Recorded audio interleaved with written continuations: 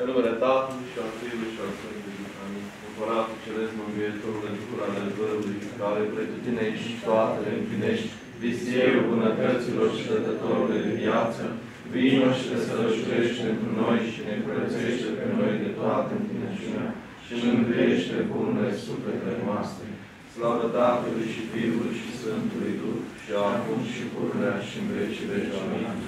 Doamne, miluiește, Doamne, miluiește, Doamne, miluiește, cu cernice Părinte, binecuvântați. Binecuvântează, Doamne Iisuse Hristoase, lucrarea aceasta, locul acesta și pământul Tăi, că Sfântul și Ție slavă înălțăm Tatălui și Fiului și Sfântului Duh, acum și pururea și în vecii vecilor. Amin.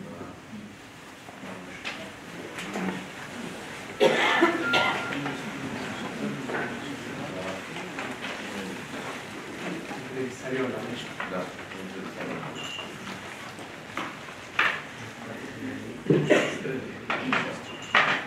În seara, iată-ne în anul 2016, la prima noastră întâlnire în acest an.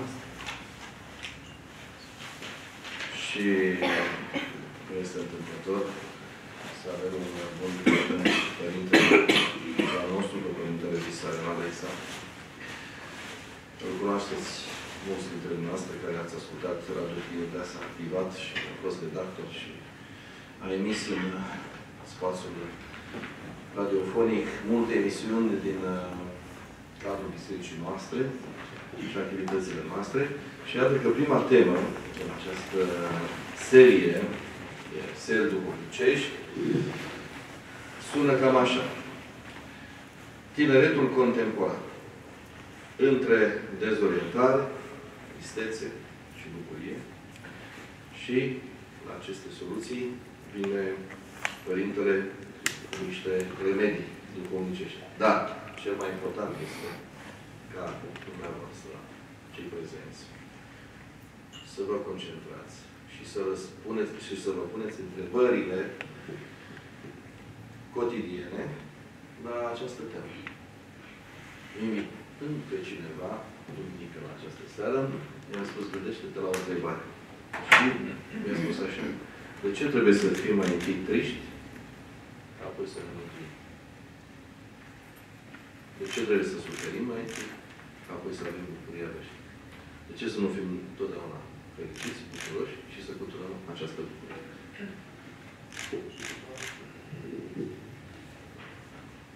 Încep cu oficiile. Mulțumesc pentru invitație și pentru dezluire. Uh, Eu, eu vreau să cred că uh, nu, nu sunt trist și că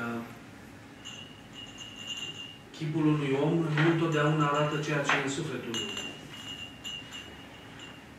Uh, Părintele a pus o întrebare și cred că o să încep totuși în, uh, în nota aceasta. De ce e ne- neapărat nevoie să fim triști? Nu e nevoie să fim triști. Adică tristețea nu este o calitate, nu este o uh, nu este o virtute. Nicăieri nu se vorbește despre tristețe ca virtute.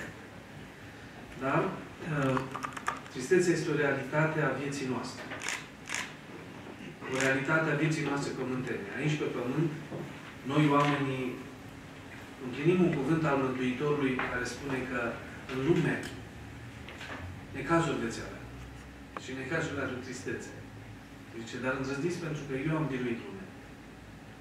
Și dumneavoastră să spuneți dacă, dacă e neadevărat lucrul acesta, dar cred că niciunul dintre noi nu poate afirma, așa cu mâna pe inimă și cu realitate totală, că nu e trist. Că nu suferă de tristețe. Că nu este deznădăjduit. Că nu este uh, din când în când vizitat de o nostalgie fără explicație și fără să poată să pună degetul pe rană și să spună sunt trist din pricina aceasta. Uh, Eu am zis tineretul, dar să știți că m, aș lărgi puțin uh, aria și aș spune că majoritatea oamenilor suferă de tristețe. După cum spuneam și în începutul acestui interviu la colegii de la Trinitas, Să știți că Organizația Mondială a Sănătății atrage atenția că depresia va fi boala deceniului. Depresia va fi boala care va decima mai mult umanitatea decât cancerul și bolile cardiovasculare. Domnul profesor, doctor universitar de psihiatrie. Ștefan Mile. Domnul Ștefan Mile. Poate puteți să și, nu știu, dacă Să... corectați, să... Dar am venit să vă aud. Da, am înțeles. Dar nu, și urmare completează. Bine, e, e chiar foarte bine pentru că dacă voi folosi stâlcit niște chestiuni medicale, să mi le corectați ca un specialist. Uh, Deci Organizația Mondială a Sănătății atrage atenția că depresia va fi boala decenului următor. Și este o problemă foarte serioasă. Asociația Psihologilor și Psihiatrilor din România, la fel, atrage atenția asupra românilor că românii sunt profund nefericiți. Și dacă dumneavoastră spuneți că fericirea este, uh, cum să vă zic, este susținută de starea materială, vă înșelați. Să știți că în comparație cu alte popoare din Europa, românii chiar sunt fericiți. Așa sunt uh, catalogați de uh, datele care, care se fac în, în Europa în privința indicelui de fericire a populației. Estul Europei este alcătuit dintr-o medie de oameni fericiți ridicată față de vestul Europei, unde populația o duce mult mai bine. Și atunci înseamnă că fericirea nu prea are legătură cu bani. Băutură. Cum? Cu băutură. Cu băutura? Fericirea are legătură cu băutura. Interesant. Dar mai sunt și alte variante. Și prafuri, și ierburi, și multe alte lucruri care pot să putea să țin după o stare de fericire aparentă. Atenție, aparentă. Și băutura și, Zori. și, și alte substanțe Vă zice că falsă. falsă. Falsă, pentru că știți ce înseamnă alcoolul, prafurile și ierburile care aduc fericirea, sunt echivalente sau le poți cataloga drept un cărbune prost, care dacă îl bagi în sobă să dea căldura, trebuie să ai ardă și soba. Dă căldură, într-adevăr, dar arde și soba, odată cu cărbunele. Așa că uh, a- o, o să vorbim și despre lucrurile acestea dacă, dacă doriți să le abordăm. Punem întrebări, da? Să- Fiecare aveți câte o întrebare. În seara aceasta, dacă doriți, putem vorbi și despre aceste lucruri. Dar, cert este faptul că depresia devine într-adevăr o problemă majoră. Devine o problemă majoră pentru umanitate și Biserica este chemată să spună ceva despre lucrul acesta. Ce se întâmplă? De ce omul de astăzi devine mai trist și mai depresiv decât poate omul de acum 50 de ani? Și atunci sunt oameni care se ocupă cu aceste cercetări. Există un psihanalist austriac, uh, Victor Frankl, citat foarte des de Părintele Galeriu, care spune că uh, oamenii din timpurile noastre sunt foarte triști, sunt depresivi. De ce? Pentru că sunt lipsiți de, de activitate spirituală. Nu-și folosesc spiritul, nu-și folosesc sufletul. Și aici o întreagă problemă pe tema aceasta, pentru că dacă vorbești cu un tânăr din zilele noastre, îți va spune că el are preocupări spirituale. Îți va vorbi despre preocupări culturale, nici nu prea știe la ce categorie să le înscrie. Uh, Dacă merge la film, ce e mersul la film sau la, la, la teatru sau la orice altă petrecere peste tot, da? el spune, le trece la capitolul varietăți spirituale.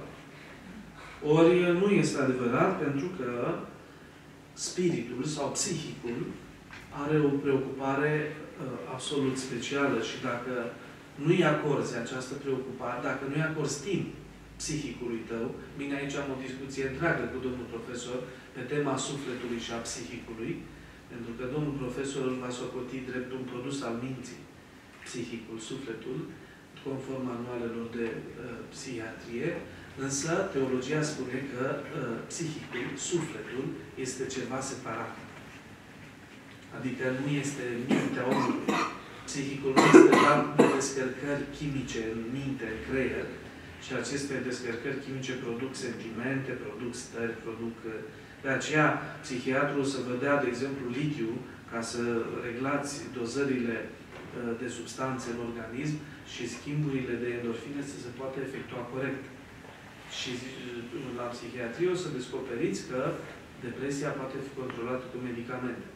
Eu nu zic că nu poate fi controlată și aici, dacă domnul profesor uh, poate explica despre acest lucru, nu zic că nu poate fi controlată depresia prin medicamente, însă nu poate fi vindecată. Biserica îți dă speranță. Biserica îți dă speranță în loc de medicamente. Pentru că, de fapt, și vreau să intervin, ar trebui să facem distinție între tristețe și depresie. Depresia este tristețe fără speranță.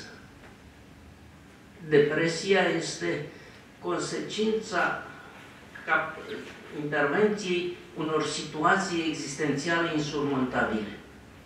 Ori surmontabilitatea poate să-ți o dea speranța că mâine poate și asta spun eu că este marele merit al credinței și al bisericii. Îți oferă o șansă. Problema este că și în biserică sunt oameni depresivi.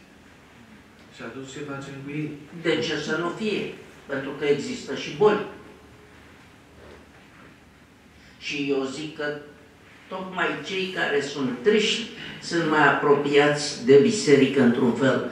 N-ați observat că sunt atâția atei care atunci când ajung spre vârsta a treia, încep să gândească altfel. Dar haideți să vedeți ce spune biserica, adică ce spun părinții despre tristețe și deznădejde. Părinții spun că tristețea vine din partea demonului.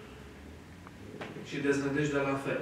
De, dacă tristețea este vizita demonului, deznădejdea sau depresia este aproape un act de demonizare. Și aici, din nou, există o întreagă discuție pe tema aceasta, pentru că uh, există uh, o viziune modernă a psihiatriei care, uh, într-un fel, uh, așa, încriminează biserica și spune că uh, nu are niciun drept să spună despre un om depresiv, care, asupra căruia s-a instalat deja depresia, cum că ar avea vizite demoniace. Toată teologia bisericească vorbește despre deznădejde sau depresie sau o tristețe accentuată ca despre prezența unui demon. Există un demon al amiezii, care aduce deznădejdea, achedia. Există un demon al nopții, care aduce achedia. Și acești demoni de amiază și de noapte, uh, odată ce sunt acceptați ca și prezență în viața unui creștin, a unui om, atunci ei pun stăpânire pe om și au, au, uh, pun atâta presiune, atâta tensiune pe om, încât acesta nu rămâne fără nicio nădejde. Uh, marea luptă a părinților din secolul al IV-lea, din Sahara de Nord, tot patericul, este o luptă cu ducurile deșertului sau ducurile întunericului sau nopții sau ducurile amiezii, cum mai, mai spuneam cel mai puternic duh rău din deșertul secolului IV era Duhul Achediei. Duhul Achediei care îl ducea pe uh, monahul care practica asceza creștină în, în, în deșert, îl făcea pe, pe monah să își piardă sensul vieții și al existenței și toată credința. Și atunci eu n-aș putea să vorbesc, dacă, dacă sunt în biserică și vorbesc din perspectiva aceasta, atunci sigur că uh, vreau să cred și cred lucrul acesta, că tristețea, depresia, deznădejdea sunt rezultatul unei întâlniri demoniace. Cineva spune probabil că s-ar putea să fie un dezechilibru fiziologic. Uh, Rezultatul este dezechilibru fiziologic. Ceva se întâmplă în om după această întâlnire demoniacă. Ceva se petrece în om. Omul începe să-și piardă vigoarea fizică. Omul începe să trăiască o boală, dar ea nu este o boală strict fizică, ci are reverberații spirituale. Și ce este foarte interesant că cel care ajunge în deznădejde, în depresie, sau cel pe care îl vizitează tristețea, uh, apare un sentiment teribil în acel om. Dacă nu chiar înainte de a se instala tristețea și depresia. Mândria. Toți părinții secolului IV din deșertul Saharei care au scris Patericul spun că bolile minții sau bolile spiritului, sufletului, sunt boli care rezultă din mândrie. Acum, există un scriitor care a venit și în România și a lansat cartea Andrew Solomon, care vorbește despre depresie și vorbește despre depresie într-un strict medical, ca niște consecințe personale, ca niște rezultate personale, el însuși fiind un depresiv, uh, incriminează foarte dur biserica și spune că uh, biserica face o atrocitate asupra omului când îi vorbește omului despre demoni. Eu consider depresia doar o boală. O boală cum e gripa, cum sunt durerile de reuma, reumatice, sunt, consider depresia doar o boală. Eu cred că abordarea aceasta, în a considera depresia sau tristețea sau diferitele etape ale întristării omului, a considera doar o boală fiziologică, consider că este o mare greșeală. Personal spun lucrul acesta, dar vă și spun de ce. Psihiatria nu vindecă nicio boală. Psihiatria doar stagnează. Doar oprește evoluția acestei boli sau, mai mult decât atât, îl ajută pe omul acela să-și oprească noianul de gânduri, noianul de, de stări psihice, cu ajutorul medicamentelor, dar e un paradox acolo, pentru că omul nu se vindecă, ci omul începe să aibă o stare, foarte popular spun oamenii, zice, pastilele de psihiatrie te fac legumă. Nu te fac chiar legumă, că te miști, mergi la serviciu, ai, interacționezi cu ceilalți. Însă, ceva se întâmplă în, în om. Ceva se întâmplă în om și uh, întâmplarea aceasta care are efecte medicamentoase, nu-l tămăduiesc pe om. Ce aș fi tare curios să-l întrebe domnul profesor, dar vă gândiți puțin la, la... Dacă cunoașteți un pacient depresiv, cu depresie instalată, care în urma tratamentului să se vindece și să nu mai aibă nevoie de tratament. Indiscutabil că da. Deci, eu dacă ar fi să fac un un adaos la ce a spus dumneavoastră, eu n-aș fi așa de ori-ori. Eu zic să lăsăm bisericii ce al bisericii și psihiatriei ce al psihiatriei.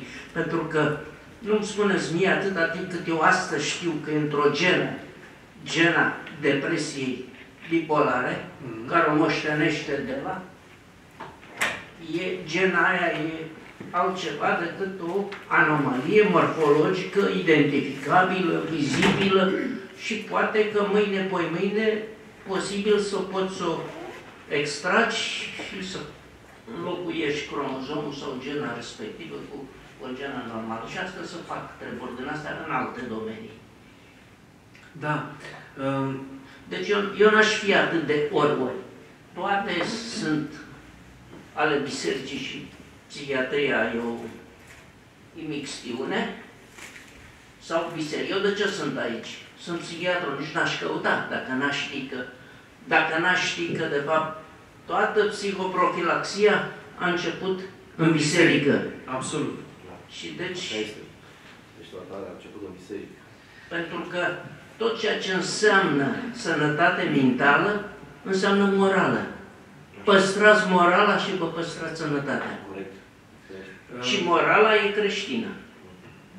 Și biserica a făcut foarte bine că și-a asumat sau și-a apropiat și și-a s-a făcut corp comun cu această morală. Există anomalii uh, biologice ale, uh, în, în psihiatrie. Spuneați dumneavoastră despre uh, pare mi se că și schizofrenia e trecută la, aceeași, la același capitol. Și schizofrenia are și niște defecte multigenice. Multigenice, da. da. Și uh, sunt câteva, într-adevăr, câteva boli care pot fi identificate ca sursă anatomică. Da, dar, în principiu, depresia, că despre depresie vorbim, depresia deocamdată nu are, un, co- nu are un, o identificare anatomică nouă. Eu vreau să vă spun că din întâmplare face că Da? tocmai un articol pe care vreau să-l trimit vorbește despre depresie care arată că de fapt sunt ci- cel puțin cinci tipuri de depresie identificate, diferite din punct de vedere al suportului biochimic, Da. a ceea ce noi putem identifica și diagnostica prin mijloace de laborator. Din, din câte știam, știu eu și îmi cer iertare, sper să nu greșești, de aceea vă și cer consimțământul.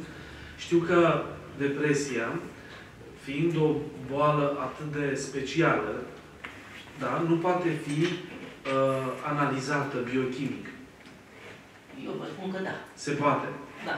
Și v-am spus, sunt, sunt, deja, sunt deja patru tipuri de defecte biochimice care corespund la patru tipuri de depresie. Conform Tot așa. analizelor biochimice, pot stabili ce tip de depresie are Pentru că dacă veți uitați pe internet, veți vedea că antidepresivele sunt cele mai numeroase. Da. Fiecare are o structură biochimică pentru că, de fapt, repară sau corectează un anumit defect. E adevărat ce a spus dumneavoastră că nu e ușor să vindeci, pentru că defectul este biochimic și aparține structurii. Și atunci, sigur că nu poți decât să-l corectezi. Uh, Ce spunea acest, uh, el, din câte știu eu, Andrew Solomon, a făcut cea mai completă, mm, să zic așa, imagine a depresiei, cu tot tratamente, cu tot ce se face în timpurile noastre și el însuși fiind un depresiv și încercând foarte multe tratamente. Uh, Pentru că nu există o componentă biochimică, nu se poate extrage o substanță din om și să poți să, de, să identifici ce tip de depresie. Dumneavoastră îmi spuneți, a- aș vrea să-mi trimiteți, dacă se poate, articolul pe care uh, vreți să... Aș fi tare, tare curios. Da. Uh, dar el spune că uh, nu pot fi identificate boala, tipul de depresie, decât dacă devii partea unui experiment medicamentos. Tratamentul pentru depresie nu se prescrie conform unor analize biochimice, ci se administrează o, un, o variantă de tratament până când organismul răspunde. Se pot, numai că analizele sunt foarte scumpe și nu se pot. Nu poți să le iei pe fiecare și să-l pui să plătească sute de numai ca să vezi. Și atunci încerci un antidepresiv, după aia îl schimbi cu altul. De ce trebuie să-l schimbi? Pentru că, de fapt, înăuntru e altceva decât tu ai presupus la până început. când găsești varianta chimică cea mai potrivită Eu pentru... zic că astea sunt lucruri mult prea științifice și nu... Da, sigur, nu, nu privește... Nu vreau nu să... ne privește, Eu, dar... eu nu vreau să intru și să interferez cu aspectele Eu vreau să intru. religioase Eu ale vreau să intru și să interferez Alele cu putem discuta între... aspectele... De ce este foarte important lucrul acesta? Pentru că știți de ce? Iată, vin oameni la noi la biserică și spun, Părinte, ce fac? Mă duc la psihiatru sau rămân la duhovnic? El Eu zic și și. și și. Și și. De ce? De ce să excludem? Problema este că toți oamenii care vin la spovedit, marea majoritate sunt într-un început de depresie. Ar trebui să aveți pacienți foarte mulți la cabinetele de psihiat- psihiatrie. Plus că, deocamdată în România nu este făcut un screening psihiatric pentru, pentru ceea ce am înțeles că deja se, se propune un astfel de screening psi- psihiatric. Și atunci eu cred că va fi dezastru. Adică foarte mulți dintre noi vor trebui să devină pacienți ai cabinetelor de psihiatrie și să devină dependenți într-un fel de tratamente medi- medicamentoase. Se pot frânta foarte repede testele psihologice. Uh, nu e de dorit. Da, dacă... Dar mă, mă gândesc în felul acesta. Eu cred în medicamente. Aici, Cred în medicamentele eu fac, psihiatrice. vă zic din propria mea experiență, Da. la trei psihologi, același test, doi uh, pozitiv, unul negativ. Da. Deci, interpretări diferite. Uh, Cred în medicamente, domnule profesor, și vă și spun când. Există un moment în viața depresivului când el nu mai crede în nimeni și nu mai ascultă de nimeni. Este un moment în care în inima lui nu mai ajunge nimic, niciun cuvânt, nici de la părinți, nici de la prieteni, nici de la familie, de la nimeni. Acela este momentul în care, din punctul meu de vedere, ca preot, este maximum de mândrie pe care îl poate avea un om. Săracul, că e de, de plâns un om care nu mai vrea să asculte nimic. Dar este maximul de mândrie pe care îl poate avea un om. Și acolo, foarte greu, mai, a- mai poți purta o terapie conversațională cu omul acela. Și atunci e nevoie de medicamente. Medicamentele ce fac? Au și un efect fizic, dar au și un efect psihic, bineînțeles. Și omul respectiv, în urma medicamentelor, coboară garda mai jos și poate asculta, poate intra într-o terapie conversațională. Atunci, în momentele respective, când omul este profund afectat de depresie, uh, el nu mai poate discuta nici cu psihologul, nu mai poate discuta nici cu duhovnicul, nu mai poate vorbi cu nimeni, pentru că este închis total. Toate ferestrele lui sunt închise. Modalitatea ar fi, din punctul nostru de vedere duhovnicesc, ar fi să putem avea la îndemână un taumaturg. Biserica a avut taumaturgi. Ce erau aceștia? Erau uh, preoții, dar nu numai preoții, erau pusnici oameni cu viață sfântă, care puteau să alunge duhurile rele din om. Dar acesta este un dar de la Dumnezeu și exorcistul. Acesta este un dar de la Dumnezeu și noi știm că darurile sunt împărțite. Nu toți preoții, nu toți oamenii bunătățiți sufletește au darul acesta al alungării duhurilor din om. Și atunci nouă preoților duhovnici, așa, de oraș cum suntem noi, fără mari puteri și daruri de la Dumnezeu, Fără voiam. și fără Nu avem ce face. da, atunci este neapărat necesar ca uh, cel care vine să se spovedească și e într-o fază acută de depresie, sau poate chiar cronicizată și manifestă o, o, o închidere totală, este neapărat nevoie de medicul psihiatru. Dincolo de psiholog. Adică acolo chiar este nevoie de medicul psihiatru.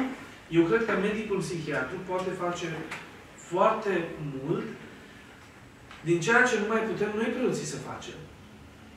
Și aici ar trebui poate să ne facem și noi o vină, pentru că noi preoții, din ce în ce mai puțini exorciști sunt în rândul preoților. Și vă spun asta că a fost o vreme când uh, singurii tămăduitori, taumaturgi ai, uh, ai lumii erau preoții și uh, aceste persoane bunătățite care trăiau felul de tragere sau... Dați-vă preoți. Cum? Ce am întâmplat? Deja, dați-vă preoți. Da. Da, e- de exemplu, iată, avem insula Egina, care până în 1960, pare mi se, n-a avut medic. Iar singurul medic din insulă care putea să tămăduiască bolile trupești și cele psihice era Sfântul Nectarie. Și fapt consemnat nu numai de viața Sfântului Nectarie, ci fapt consemnat de toată viața insulei, pentru că toată insula, de la casă până la bărci, toată insula se numește Agios Nectarie. Bărcile poartă numele Sfântului Nectarie, casele îl au pe pe Sfântul Nectarie și Sfântul Nectarie era cel care tămăduia și vindeca pe toți cei care aveau atât de boli fizice cât și boli sufletești. Și atunci, uh, eu m-aș speria într-un fel, să vă spun că, iată, vă dau un exemplu, avem la biserică o, o, o, un medic care a lucrat în Anglia și acolo, în Anglia, medicul îmi povestea că a făcut acolo o specializare și printre care a făcut și o specializare care avea tangență cu psihiatria. Și veneau englezii la, la control, la medic și Ea medicul îi întreba, zice, luați un medicament? Și englezul zicea, nu iau nimic. Zice, chiar niciun tratament, nimic? Nu. Zice, bine, dar aveți cumva niște pastiluțe recomandate de doctorul psihiatru pe care le luați zilnic? Zice, a, alea, păi dar alea nu sunt tratament. Adică mentalitatea uh, aceasta europeană este, într-un fel, nu știu, vom vedea bună rea, dar Organizația Mondială a Sănătății spune că e o mare problemă depresia și că tratamentul pentru depresie nu vindecă, nu vindecă depresia. Și atunci, iată că avem în Europa oameni consumatori de medicamente, de la vârstă foarte timpurii, așa, medicamente care pentru ei nu mai reprezintă nimic. Adică fac parte din traiul de zi cu zi, cum e spălatul pe dinți, uh, și nu li se pare că este o problemă să consum medicamente, tratamente psihiatrice, zilnice, uh, și aici eu cred că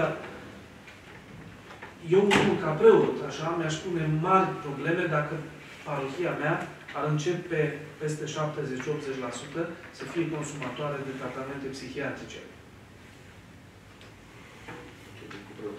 Începem cu preotul, că se pune și problema și așa. Da. Da. da?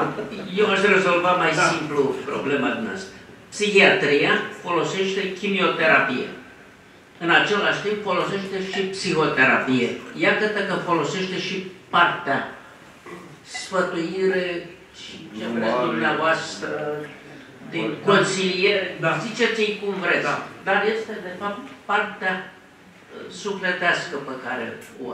Aș zice mai mult, nu numai bolnavul psihic are nevoie de ambele, ci toți avem nevoie. Problem- Chiar și noi când, că unii spuneau, mi-aduc aminte după Revoluție, că au venit, au venit să mă întrebe în poartă, în poartă niște străini, cum am trecut noi până în drama Revoluției. Stai puțin, că la noi nu se întâmplă cum, cum se întâmplă la dumneavoastră. La noi se întâlnește la Maria cu leacutare și își fac catarzisul și își fac uh, psihoterapia în poarta casei. N-are nevoie de toată drama asta. În timp ce sunt țări unde relațiile interpersonale, chiar și cu vecinul, habar n-ai cine e și cum e și n-ai cui să-i Spui. să faci catarsis, așa vorbim noi, să-ți descarci. De fapt să te spovedești. Nu te spovedești numai preotului. Of, of. Te spovedești cui ție la îndemână. Și spovedania aia este și ea o parte din tratament. Și cu Deci- demonii ce faceți?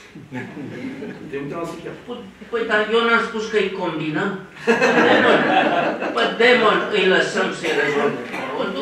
Iar partea biologică o rezolvăm noi, dar noi ținem seama că există și, și acest demon care trebuie rezolvat din sufletul fiecăruia.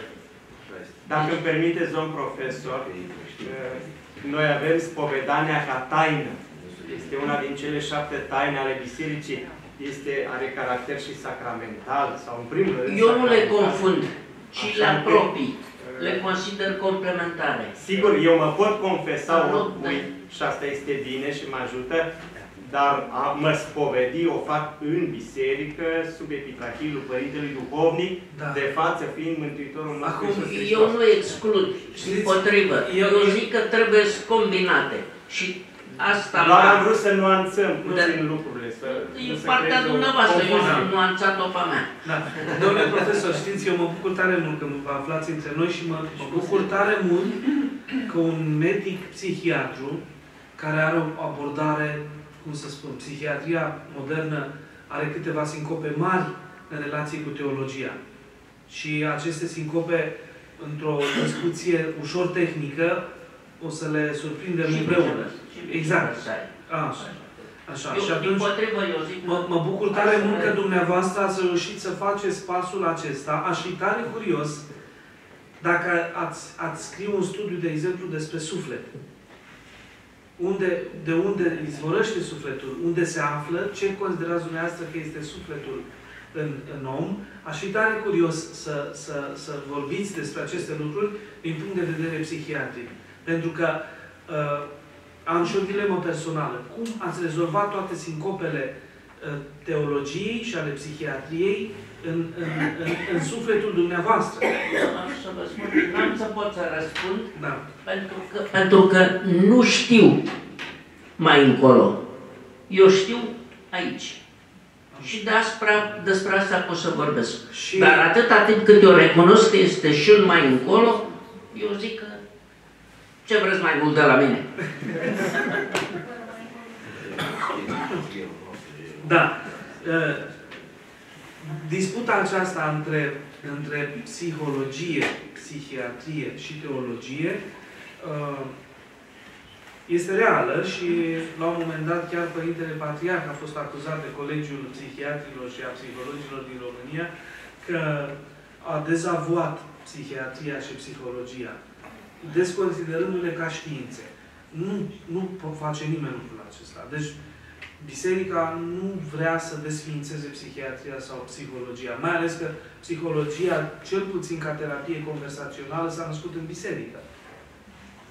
Și, Da, și spus-o. da, s-a născut în biserică. Dar Eu citesc Lumina și acolo văd că tocmai asta spune, biserica este strâns legată de știință, deci nu le neagă. Eu nu înțeleg de ce trebuie să, să tragem o, Nu, o nu se linie trage o și să linie. dăm la o parte. Nu se trage o linie și nici nu se dă la o parte, pentru că, după, Foarte bine. a, după cum am spus, sunt cazuri, sunt momente în care chiar este nevoie de medicamente.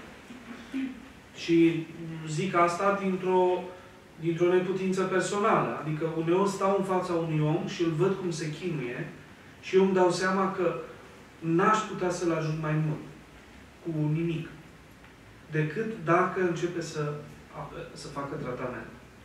Și acum problema se pune în felul următor. Până la, la disputa dintre psihologie, psihiatrie și teologie, uh, aș vrea să vă spun așa cum uh, privește un mare uh, psihoterapeut al Bisericii Ortodoxe, uh, episcopul Ierodeus Flaccus, care este uh, preocupat de acest domeniu, psihologie, psihoterapie, psihiatrie și teologie, cum privește el uh, bolile sufletești. Iată, spune în- într-una din cărțile sale, tradusă și în limba română, uh, Psihoterapie Ortodoxă, spune că uh, noi, oamenii, în diferite momente ale vieții noastre, suferim niște sincope psihice, niște dezacorduri de gândire. Și atunci se produce în sufletul nostru o agitație puternică și avem nevoie de ajutor. Sperăm să ne ajute cineva. Cei mai mulți dintre noi aleargă la psiholog. Acolo speră, cu ajutorul psihologului, ce face psihologul? Psihologul spune, tot ce trăiești în prezent este un cumul de experiențe din trecut. Toate sincopele minții tale sunt, de fapt, experiențe din trecut neîncheiate, neînțelese. Și ce face psihologul? Te duci la el și în urma terapiei conversaționale, el te face să te întorci pe firul vieții tale, să identifici momentele neîncheiate, să le înțelegi, să le re- rememorezi, să le înțelegi și să le închei. Mental vorbind. Problema se pune că omul are momente neîncheiate toată viața lui. Practic ar trebui, și în Occident deja se practică lucrul acesta, să mergi săptămânal, la două săptămâni, la psiholog. Toată viața. De ce? Pentru că este un cumul, viața noastră este un cumul de experiențe, de gânduri, de sentimente neîncheiate. Iertați-mă, și aici Da. nu vii la biserică? În ceea ce în ortodoxie nu vii la biserică? De acord? De acord. Dar Săptămână de haideți- săptămână. Haideți să vă spun Într-un ce, fel- ce spune acest Ieroteus Vlacos, care, după părerea mea, este cel mai competent personaj la ora actuală în materie de psihiatrie, psihologie și psihanaliză din Biserica Ortodoxă.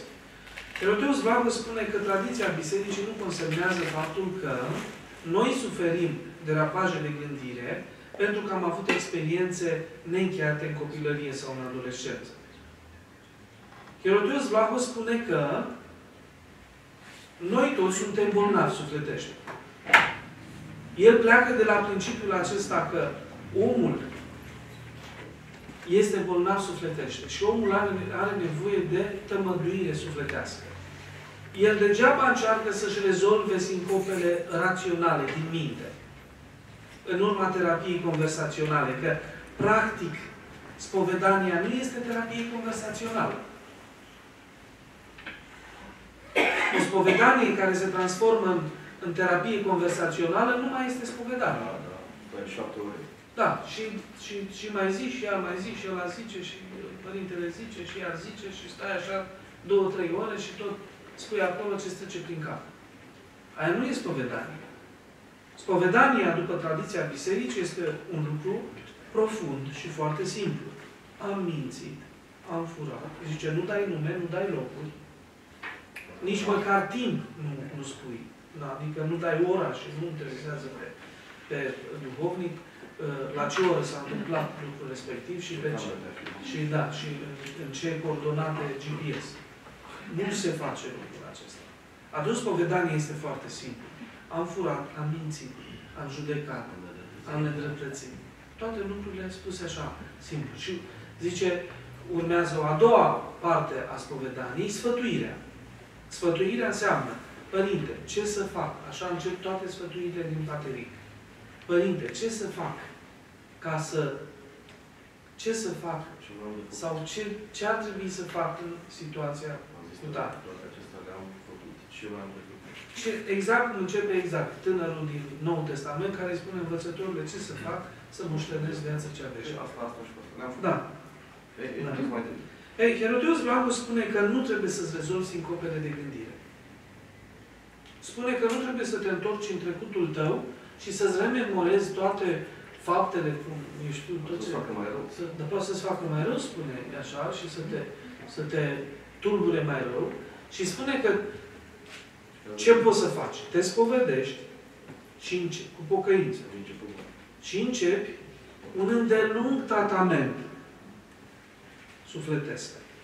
Și anume, nu trebuie să-ți repari mintea, adică creierul, ci trebuie să-ți repari sufletul. Noi, în biserică, credem că omul este alcătuit din trup și suflet. Unii cred. Nu din... Are și creier, dar face parte din trup. Da. Dar trăiesc. Da. Și atunci, de aceea spun că de asta n-aș, n- și psihiatria și teologia se împacă foarte bine. Eu cred că fol- folosesc dicționare diferite și de aia și le, le atât de greu să se împace bine. Pentru că psihiatria modernă spune că sufletul este un rezultat al creierului, al descărcărilor chimice. Spuneți, doamna, ce înseamnă asta? Niciodată creierul nu poate fi Să una, iertați-mă. confundat. Nu e nicio problemă cu sufletul. Sufletul e diferit, creierul e un organ și a... sunt lucruri Păi, foarte diferite. stați că Din nu punctul zic meu eu, de eu vedere. sunt de acord cu lucrul acesta, credeți-mă, eu cred în el. Comunicam și eram. Dar, dar, dar este cert faptul că psihiatria modernă așa tratează omul. Nu există suflet în om. Eu de aceea spun că tare aș fi curios dacă domnul profesor ar putea scrie ceva, poate și pentru biserică. Nu să- vedea, nu, îi dăm, Așa? îi dăm, nu. Dacă creierul produce sufletul, atunci când creierul moare și nu mai are activitate, ce se întâmplă cu... Păi cum zice Unde- Domnul nostru, zice suflet. Am murit suflet. A rămas Păi suflet. ce se întâmplă? Adică dacă, dacă doar se- sentimentele, stările emoționale sunt produse de creier, sunt doar impulsuri ale, ale creierului. Nu, doar... Nu există inimă în termeni psihiatrici. Nu există. N-are... Psihiatria nu tratează Sunteți un inima. om aia fără inimă? Este, este Lumea o tratează cardiologia. Cord? Cort, cardiologia. Da. Și atunci este o mare dilemă unde este sufletul și ce se întâmplă cu sufletul omenesc după ce creierul nu mai are impulse, impulsuri chimice, descărcări chimice. Și dacă există ceva, dacă există ceva separat, da, cum în teologie este sufletul în om, care după ce omul moare, sufletul iese din trup. Prima Și întrebare. sufletul rămâne. Ai zi. Cine ai creier? Da. Cine are prima întrebare? Te rog. Aș o întrebare, ce ar trebui, pentru că tot s-a făcut, că trebuie să ajungeți la biserică, ce ar trebui ca tinerii, tot s-a comunicat că trebuie să ajungem și la biserică, ce ar trebui să facem ca tinerii să ajungă să aibă și un duhovnic? Pentru că în ziua de astăzi tineretul e cam greu să ajungă să aibă un duhovnic. De ce? Cel puțin eu îl caut de 30 de ani. Și nici până în ziua de astăzi nu l-am găsit. Ai căutat. Da. Și câți ai trecut pe lista ta? Câți preoți ai trecut pe lista ta pe care tu ai căutat și nu ai găsit vrednic de duhovnicie? Nu pot să zic un număr, că nu am. Ai zi, la 5 până la 10.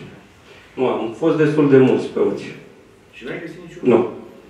Am găsit un singur duhovnic, că sunt uh, din București, în Târgu Mureș. Nu contează unde.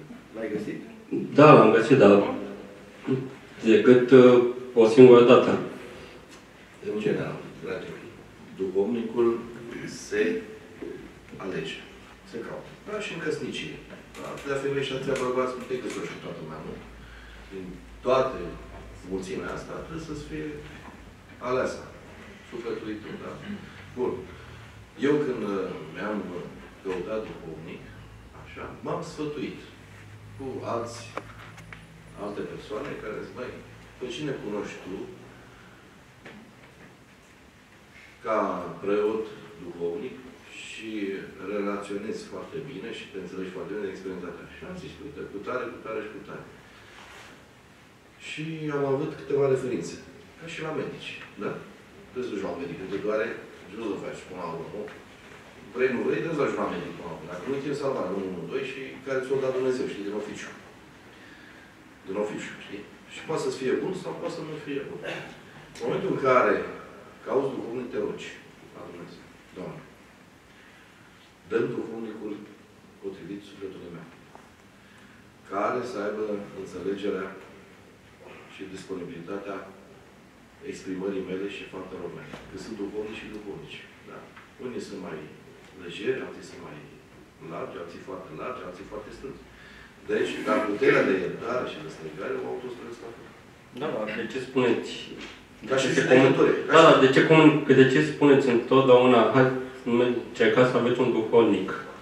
Aici, Păi ca să ai dezlegare. Deci, fără hotărâre judecătorească, nu se face absolut nimic. Fără dezlegare duhovnicească, nu trece nimeni mai departe. Trebuie să ai o hotărâre judecătorească, indiferent care e judecătorul care ți-o dă. Dar trebuie să o ai. Un judecător care este recunoscut și are pataromul la mână, îți dă acea hotărâre pe care o respectă toată lumea. Un duhovnic recunoscut și este duhovnic și este lucrător și nu, ai, nu este prit la Sfântele Taine, îți dă ție dezlegare și pleci mai departe în Împărăția Lui Dumnezeu.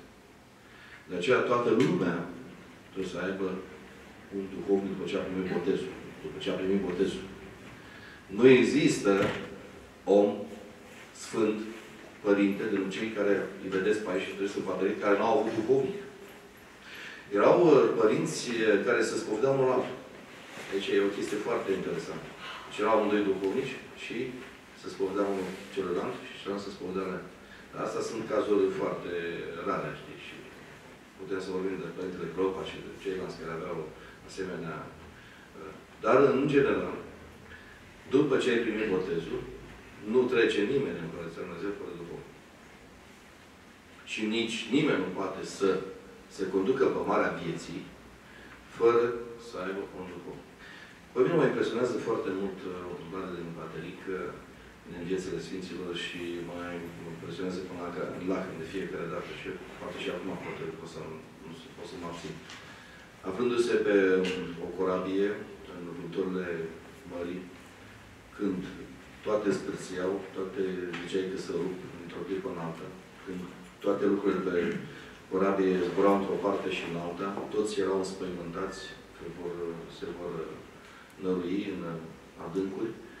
Un copil de vreo 10 ani era vesel, se juca, râdea, făcea uh, tot felul de, așa, de lucruri care se întâmplau pe vasul acela din Și a fost întrebat de cineva, de ce, măi, dar ție nu ți-e frică?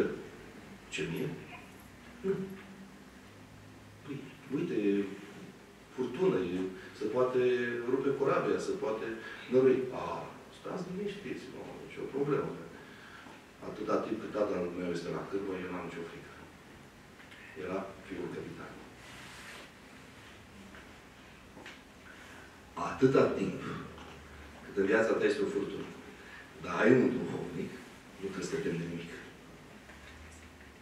Atâta timp cât ai un duhovnic, nu trebuie să te temi de nimic. Deci eu, personal, n-am nicio frică, părinții mă cunosc. Mă lupt cu oricine. Atâta timp cât duhovnicul meu îmi spune ai binecuvântare și mergi la luptă, hai de mine. O bat cu toți de aici. Da, asta e cel mai greu ca să-l găsești. Dacă vrei, găsești. Dar să știi că poți să începi uh, prin a accepta orice duhovnic la un moment dat până îl găsești pe cel mai bun. Înțelegi? Că te desăvârșești. Că unii sunt profesori de prim învățător la clasă. Cum vin profesori în clasa 5, cum vin profesori la liceu, cum vin uh, profesori de facultate, poți să-ți ieși meditator, deci din stadiu în stadiu. Nu poți să te duci în clasa 1 să ai profesor universitar, în clasa 1 să te înveți să faci plătișoare. Nu. Din aproape în aproape. După ce ai experimentat primul duhovnic, vezi cam cum e treaba, deci la unul mai bun. Și mai bun, cu îngăduință. Păi, îmi dați voie să merg la un doctor docent. Dar cum să? Te rog frumos. Deci ai, eu te-am dus până aici. De aici încolo, te duce altcineva. Duhovnicul e o călăuză. Un om care știe anumite. Unii te duce până aici, de aici te duce până acolo, de acolo mai, mai departe. Până te înalță. Păi, tu ai impresia că eu dacă uh, mă duc în Bușteni sau în așa, nu iau de asta, să mă duc până acolo. Dar în Himalaya, crezi că merg o să în Bușteni? Mă duc unul de acolo. Deci unul care este în domeniul respectiv. Depinde la ce nivel te raportezi. Da? Sunt niște stadii așa. Acum, uh, apropo de duhovnic și de efectul terapeutic al duhovnicului asupra omului, este un lucru pe care noi toți ar trebui să-l înțelegem puțin. Uh, Aici tema este și câteva soluții și remedii. E cert că suntem oameni triști, mai ales tinerii sunt oameni triști. De aceea cei tineri sunt și cei mai expuși viciilor. Adică uh, Ai zis de consum, da? consumul de alcool, droguri. De ce bei? Și de supărare. Da. Poți să vezi și de fericire. Și Nu. Bei că îți place. Din ce asta am spus? E singurul. Nu singur. E singur. E singur. A, e singur răspuns. Bei că îți place. Nici că ești supărat, nici că ești vesel. Bei că îți place. Pentru că la petrecere am văzut oameni care nu beau. Și vin la petrecere. Da. Și am văzut oameni care beau, deși nu e nicio petrecere și nu are nicio tristare. Uite ce a zis domnul doctor. Bei numai că îți place. În psihiatrie se spune că alcoolic e ăla care bea singur. Alcoolic este cel Ăla care care bea bea singur. singur. E, Care Acum, nu are niciun pretext. Bine, asta e dusă la, la extrem, da. la Da, extrem. părintele Ori, Nicodim zice așa, zac, eu beau când merg în călătorie. Când am musafir. Și când sunt sigur că să întâlnesc. bine, mai o, mai o întrebare și cât. Da. Asta e o problemă.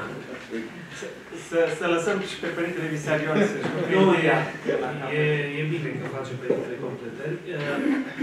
E foarte important să înțelegem de ce să vii în Ortodoxie să cauți tămăduire. Da. Și e foarte important să înțelegi cum găsești tămăduirea în Ortodoxie. Pentru că uh, mulți dintre cei care vin în biserică să se tămăduiască o caută într-un fel greșit. Era o discuție între, între o maică ortodoxă și un protestant. Și protestantul îi spune, maică, știți, eu m-aș boteza, aș trece în ortodoxie. Și maica îi zice, dar de ce? Deci m-am săturat de f- cum frații ăștia evrei fumează pe ascuns, beau, adică protestanții ăștia sunt numai de formă, așa. Și maica îi zice, să nu cumva să vii în ortodoxie că ai noștri nu beau și nu fumează. O să ai o mare decepție. Să știi că și ai noștri beau și fumează și au mari vicii. Dar trebuie să înțelegi că vii în ortodoxie ca să te tămăduiești.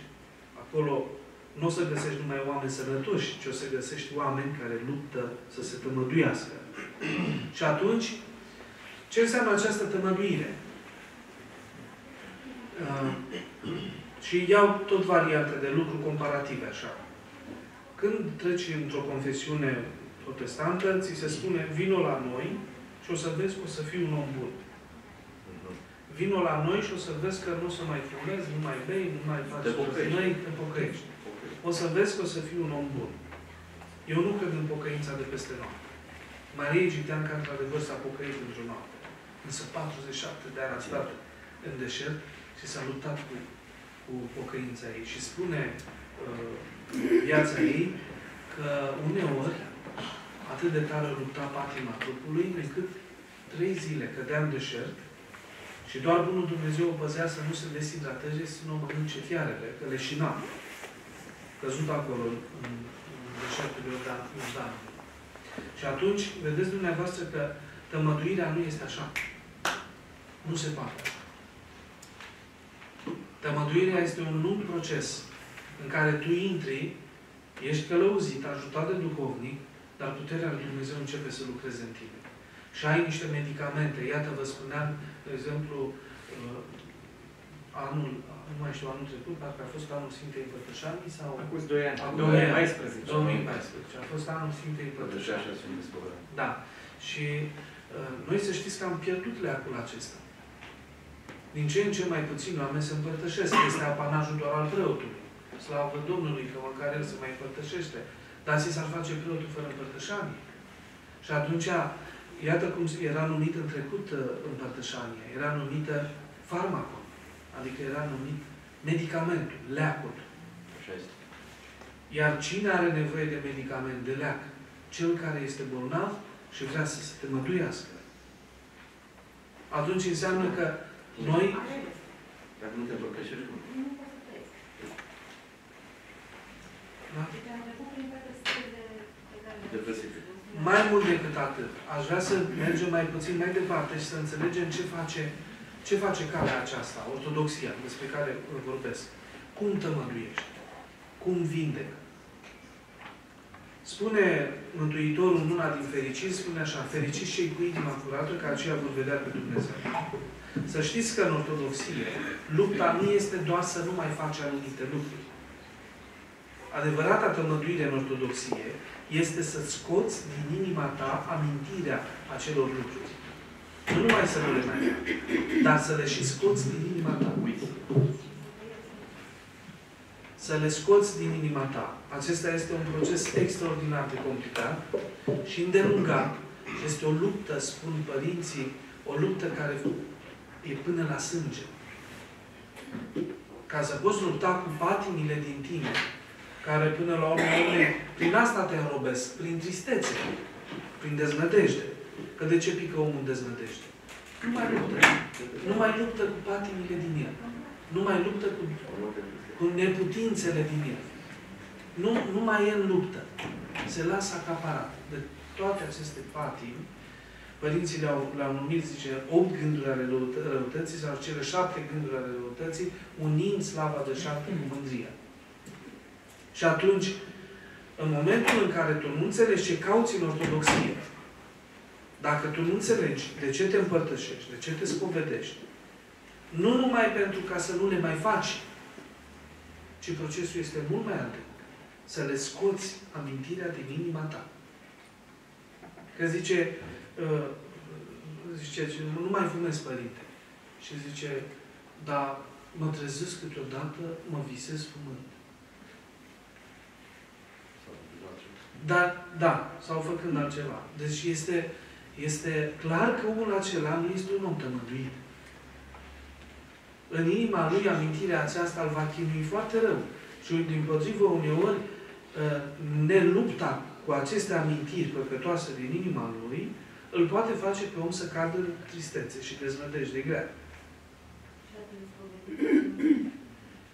Spovedania este începutul pocăinței, nu este vindecarea patimii. Este începutul pocăinței, pentru că prin spovedanie noi dobândim curaj.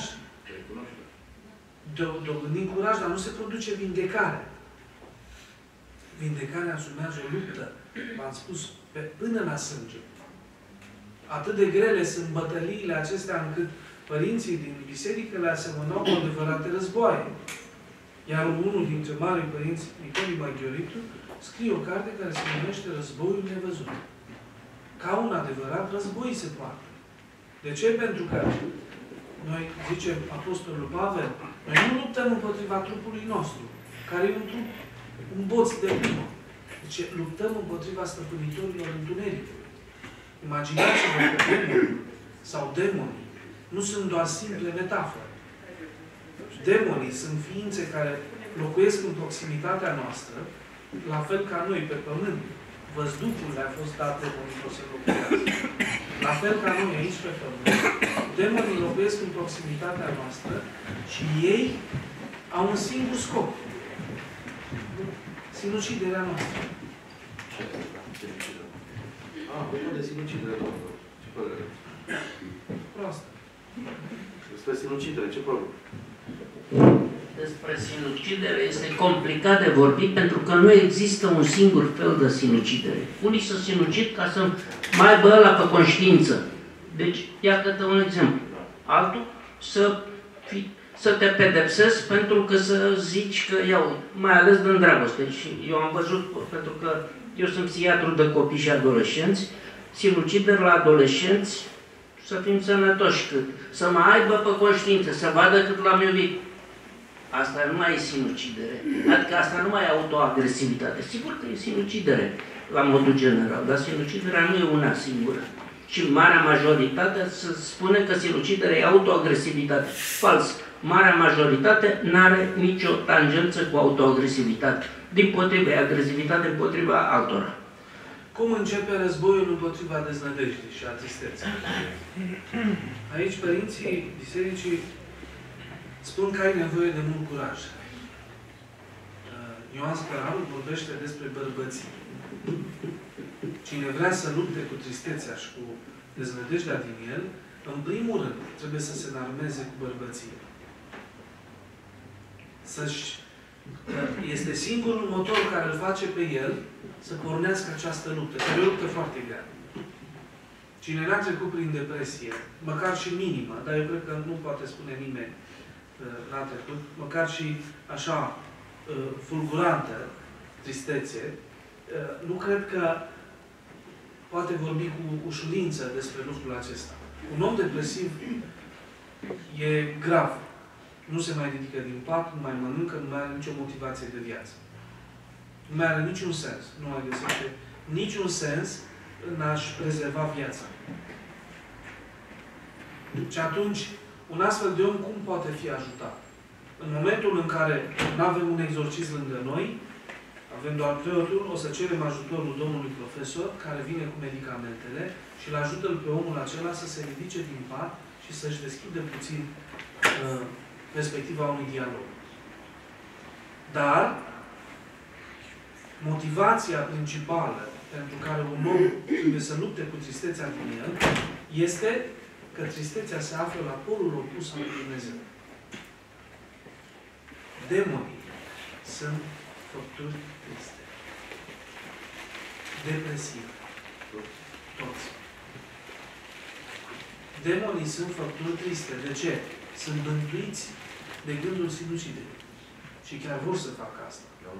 Nu pot, pentru că Dumnezeu nu e țigan, adică iertați-mă. Nu i-am nimic cu frații țigane, e o vorbă. Da. Dar zice că nu cere darul înapoi. Dumnezeu ne dă nemurirea. Și îngerilor, și demonilor, și oamenilor, tuturor ne dă nemurirea. Și un demon nu se poate sinucide, nu se poate întoarce nimic așa cum își dorește el. Uh, prezența unui demon lângă om este foarte vizibilă. Bunica mea avea o vorbă tare frumoasă și o vedeam câteodată se zbârlește și își făcea cruce așa și se închina și se ducea la icoană să nuta icoana și ziceam, ce ai bunică, moldoveancă, dragă de ea? Și spunea, m-a trecut un șior. Un fior. Da, un fior, adică, și zic, păi și ce? Deci așa m-a înfiorat dintr-o dată și m-am întristat. Zice, de unde vine lucrul acesta? Din mine nu vine, că eram veselă, eram bucuroasă. Deci dintr-o dată m-am luat așa și m-am întristat. Și zice, cea mai, părinții spun că cel mai clar mod când a identificat că lângă tine s-a sălășluit un demon, este fiorul acesta de tristețe care bântuie. Părinții spuneau că el vine câteodată la amiază, plictiseala de, de după amiază, știți? Oh, să stai într-o zi acasă, trebuie să nu faci nimic, să n-ai nimic de făcut și să nu se mai termine după amiaza aia. Și mai e un moment când vine acest teribil demon, miezul nopții. E întristarea de noapte, săgeata care zboară în întuneric. Deci este întristarea de noapte care are tot la fel, se trezesc oamenii insomniile. Trezesc noaptea și cine credeți că se sălăjuiește lângă ei? În miezul nopții, cele mai negre gânduri apar în mintea omului. Și se luptă omul până spre dimineață și pe la 6-7 doarme și el și se trezește pe la 12. Și mai obosit decât s-a pus să doarme. Și iată, uh, cum lupți cu, cu tristețea, cu, cu începutul tristeței este începutul deznădejdii.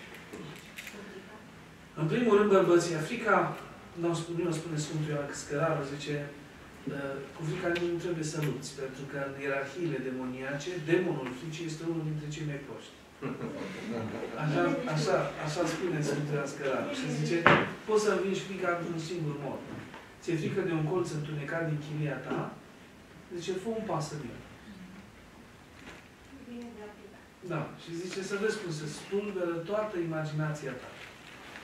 Da. Și atunci, cum luptăm împotriva tristeței? În primul rând, bărbăție. Să știi că tristețea te dezlipește de Dumnezeu. Să înțelegi lucrul acesta. Este la capătul celălalt. Dacă la, la, la, la capătul ăsta e Dumnezeu, la celălalt este tristețea. Și părinții se fereau foarte mult să ajungă în, în întristare, în deznădejde. Pentru că, spune Sfântul Ioan Gură de Aur, zice, spune-i omului deznădăjduit, există moarte, nu-l va interesa. Spune-i omului deznădăjduit că demonul a pus stăpânire pe el, nu-l afectează cu nimic. Spune-i că îi va fi foarte rău, nu-l deranjează. Spune-i că lumea se va sfârși, nu, nu, nu mișcă deloc. Și zice, vai și amar să lași deznădejdea să pună stăpânire pe tine, că nu mai miști cu nimic. Doar prin Harul și puterea lui Dumnezeu poți să faci, să ajuți un om să scape de deznădejde la care deja s-a instalat. Și atunci e bine să nu ajungeți acolo. E bine să luptați cu întristarea. Și primul fel, sau primul, primul, prima cale de a lupta cu întristarea, Părintele zicea de duhovnic. Știți de ce e important duhovnicul? că și asta, și asta trebuie să mergi. Dar nu numai de asta. Uh, o doamnă la biserică la noi a luat aghiazmă mare la Bărbărează. S-a dus acasă și acolo aștepta bărbatul ei, ca nervos, ca întârzia, ca nu știu ce. A început să țipe la ea, să îmbrâncească, să-i spună, pe ce femeie, ce faci? A întârziat. Asta a fost sticla de aghiazmă mare în mână. I-a zis părintele la biserică că aghiazma mare aruncă demonii și răutatea din om, și a luat aghiazma și flăș, la asta. Ăsta a ghicit ce s-a întâmplat. N-a lucrat niciun demon. Mai, flăcăle și a sărit pe ea să o mănânce. Zice, mai mă și stropești, nebună. Zice, nu, nu. După ce că te-am așteptat, acum am cu apă pe mine. Și să o bată, să o znopească și Săraca femeie după aia a venit la biserică, părinte, dar n-ați spus că aghiazma asta alungă demon? Zice, bă, bărbatul nu l-a făcut de mai avea puțin și mă lua la bătaie. De ce n-a funcționat? Știți de ce n-a funcționat? Demonul nu fuge de aghiazmă. Nu fuge nici de tămâie. E un basm când se spune fuge ca dracu de tămâie. Știți de ce nu fuge de tămâie? Pentru că tămâia e o rășină. Poți să o iei, clei de la vișin și să pui și să fugă de la cleiul de vișin. Nu fuge de, de, de tămâie. Dar de ce fuge? De smerenia celui care folosește puterea lui Dumnezeu. Smerenia este toată tradiția bisericii arată că dracul fuge de smerenie, nu fuge de nimic altceva. A tămâia, aghiazma, ajută. dar ajută pe omul smerit. Și atunci, remediul împotriva tristeții este smerenia. Ca tristețea să-și moaie colții și deznădejdea să-și moaie colții, te smerești. Și cum poți face lucrul acesta cel mai mult? Plecându-te în fața duhovnicului tău. Smerindu-te în fața duhovnicului tău. Nu pentru uh, că ceea ce auzi ți se pare că rezonează cu capul tău, nu că mm, duhovnicul e înalt și te inspiră frică și spaimă și de-aia te pleci, ci pentru că tu înțelegi Practic ăsta este tot actul duhovnicesc de spovedanie. Ca omul să dobândească smerenie. Dar dacă nu se întâmplă lucrul acesta și omul în spovedanie nu învață smerenia, de aceea a lăsat Dumnezeu duhovnicul. Nu că e mai deștept, ci cum mai musculos decât tine și mai puternic și el știe toate tainele pământului. Uneori duhovnicul e mai prost decât ăla care vine să se spovedească mai incult și mai nepregătit decât ăla care vine să se spovedească. Uneori duhovnicul este mai bădărat, iertați-mă, dar se întâmplă și asta. E mai bădărat și mai necioplit decât cel care vine să se spovedească. Dar știți ce se întâmplă acolo? Omul care vine să se spovedească se pleacă în fața unui semen de-al lui. Se întâmplă acolo un lucru extraordinar. Omul acela se pleacă în fața unui semn al lui și își arată toate faptele rele, fără să se rușineze, ci pocăindu-se. Știți? E tare interesant să te pocăiești în gând, știți? Dar dacă ți le și auzi, gugumăniile pe care le faci, zice, sunt așa de grave încât când le-am auzit m-am și speriat. Că de obicei gândul nu sperie atât de mult. Dacă le și auzi cu voce tare, eu am făcut asta, asta, asta. În fața unui om ca tine, e multă smerenie acolo să poți să faci asta. Să te spovedești în fața unui om ca și tine. Și atunci, calea tămăduirii este smerenie. Și mare luptă asta, să știți. Mare luptă.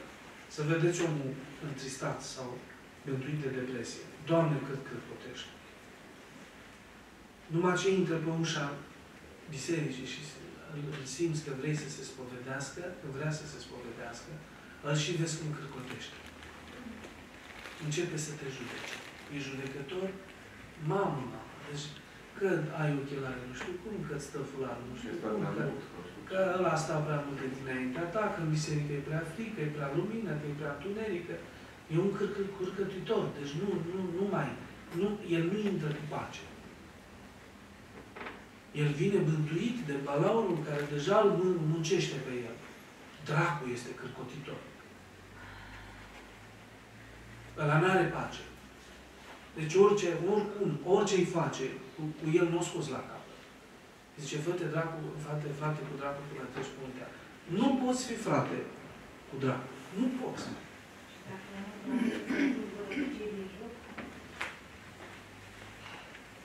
Și? Păi tu. Pe cine?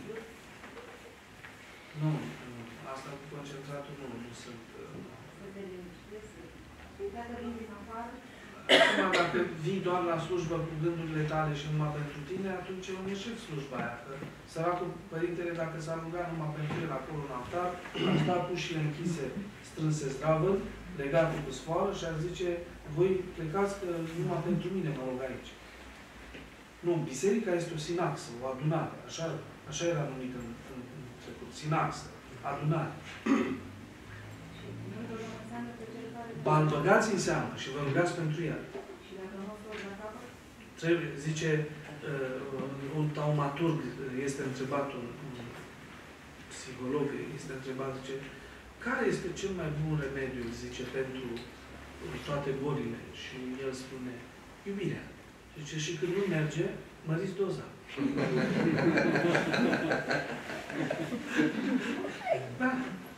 dacă supără și duhovnicul? Nu vă temeți. El își poartă duhovnicul, el, duhov, să nu credeți că bucură cineva pe duhovnic. Duhovnicul oricum e supărat tot timpul. Adică nu-i purtați de grijă că lui Dumnezeu îi poartă de grijă și spune Sfântul Ioan Gură de Aur, zice, uh, de-ar ști un uh, mirean ce talazuri uriașe se ridică asupra sufletului preotului. Pentru că preotul știe și ce e rău și ce e bine. Și uneori simte că și el cade sub incidența și a răului și a binelui. Și dacă un om vine și are conștiința aceasta, Doamne, m-ai iertat și uite, intru în biserică și uh, poartă o, o liturghie și spune, astăzi nu mă mai împărtășesc. Ci se simte împăcat sufletește că nu s-a împărtășit, preotul stă cu putinul în mână în fiecare liturghie.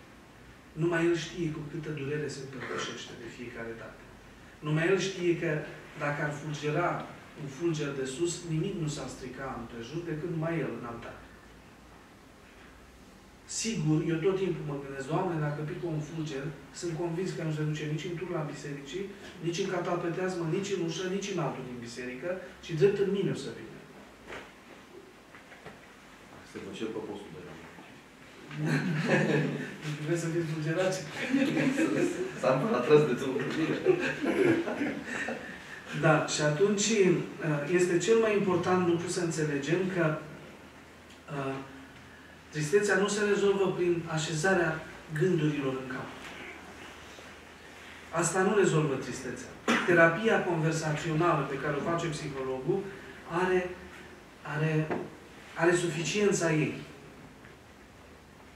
Cunosc oameni care se duc la psiholog și spun, m-am săturat, domnule. Nu mă pune acolo și zi, zi, zi, nu. Și nu mă zi și eu îi spun, pe tocmai aia acolo e farmec, înțelegi? Că, că psihologul încearcă să te, să te facă să-ți recuperezi memoria, ca să ți-o vindeci. Dar nu înțeleg asta, că m-am săturat, că mă duc de nu știu cât timp. Păi, vrei să spun un secret? Te tu o să te duci toată viața. Da, și uh, asta nu e un demers care se oprește după uh, 4-5 ședințe și spui, gata, am rezolvat-o. Și părtășea, nu te părtășești odată. Păi da, dar problema este că nu tămăduiește. Psihologia nu tămăduiește. A terapia conversațională este doar o terapie de susținere. Ea nu vindecă. Noi vorbim aici despre tămăduire. Cum a ajuns Serafim de Saru să trăiască o bucurie continuă, zilnică, în fiecare clipă. Cum în Mari Sfinți existau două atitudini. Una, o tristețe aparentă pentru păcatele lor și pentru viața trăită pe pământ, dar, în același timp, acolo era multă bucurie sufletească. Și atunci, uh, vedeți dumneavoastră, asta, uh, bucuria, noi ne imaginăm așa sufletească, uh, gen Buddha, știți? Ați văzut statueta lui Buddha, rânjind până la urechi, până aici, așa, și stă cu burtor. Și zici, domnule, uite, un om fericit. Așa îi și spun, dar fericitul Buddha. Da. Și zic, de ce? Pentru că el e cu gura până la ureche așa și arată că este fericit. Ori nu ăsta este semnul fericit. Știți că un copilaș uh, greșește în fața tatălui lui și taică să-i zice, băi, ia să te duci în biserică și să stai la picioarele Sfintei Cruci.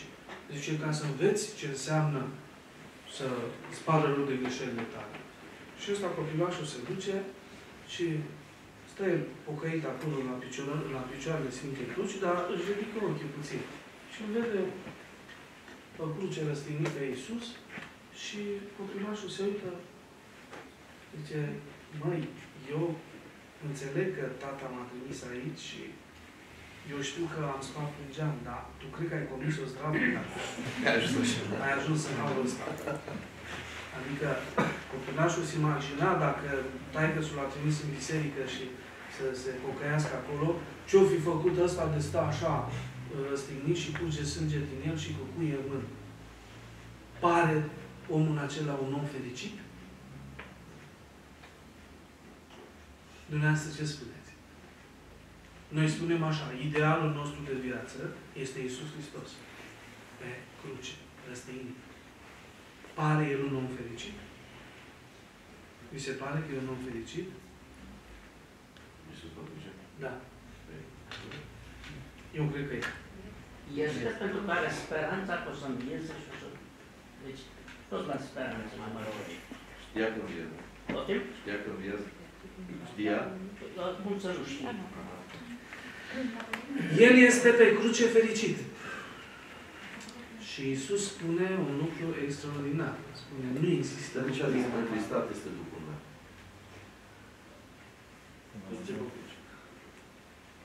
Explic acum. El zice, nu există bucurie mai mare decât să-ți dai viața pentru aproapele tău. Deci de ce omul și tânărul și noi toți suntem oameni triști? Poate suntem prea concentrați pe noi înșine? Poate suntem prea atenți la noi? Și mai zice el niște lucruri extraordinare. Zice, cel ce caută să-și câștige sufletul și va pierde. Iar cel ce și va pierde, se va mântui. Deci sunt niște paradoxuri în viața aceasta spirituală pe care dacă noi le asumăm, ele sunt aducătoare de fericire. Să știți că Iisus pe cruce era fericit. Când spune întristat este sufletul meu. Iisus trece, de fapt, prin toate stările pe care, prin care trecem noi. Și prin care noi toți trecem. Îl găsim în grădina Ghețimanii în deznădejde. Îl găsim răstignit pe cruce la un moment dat, tot în deznădejde. Deci fiind pe cruce răstignit, a trecut și prin așa ceva. Și spune, și de câte ori n-ați spus și Exact. De câte ori nu spunem noi în viața noastră lucrul acesta? Dumnezeul meu, Dumnezeul meu. De ce mai părăsit? E cumplit să simți părăsirea aceasta de Dumnezeu. Nu mai ai nicio speranță, nicio nădejde, nimic. Totul e întunecat. Și totuși, și totuși, pe cruce există multă bucurie. Acolo omul care are bărbăția de a sta pe cruce, cum spunea Părintele Arsenie Papaciolu, zice, bă, nu te da singur de pe cruce jos. Dacă te-o da alții, lasă te da, dar dacă nu stai acolo, stai pe cruce. Nu cârcoti. Nu cârcoti. Asumă-ți crucea. Și ai și ajutoare care să te ajute să-ți asumi crucea. Ai duhovnicul. Ai trupul lui Isus, care a stat pe cruce. Trupul și sângele lui. Ai uh, postul. Ai, uh, iată, rugăciunea de zi cu zi. Și spunea un părinte tare frumos, zice, cât de plăcut este postul Paștelui. Și câtă bucurie trecem noi prin postul Paștelui, deși este mult asceză în postul Paștelui. Nu mănânci, e întristare multă. Negru, negru, totul e negru. Totul vorbește despre moarte și despre răstignire și totul. Da. Și totuși, cea mai intensă săptămână și cea mai fericită săptămână, dacă pot să zic asta din postul mare, săptămâna mare. Când sunt cele mai teribile momente din viața lui Isus, răstignirea, vinderea, moartea, groparea. Ei, vine Paștele. Noaptea învierii e o bucurie extraordinară. Domnule, după a doua zi și a treia zi, obosește bucurie.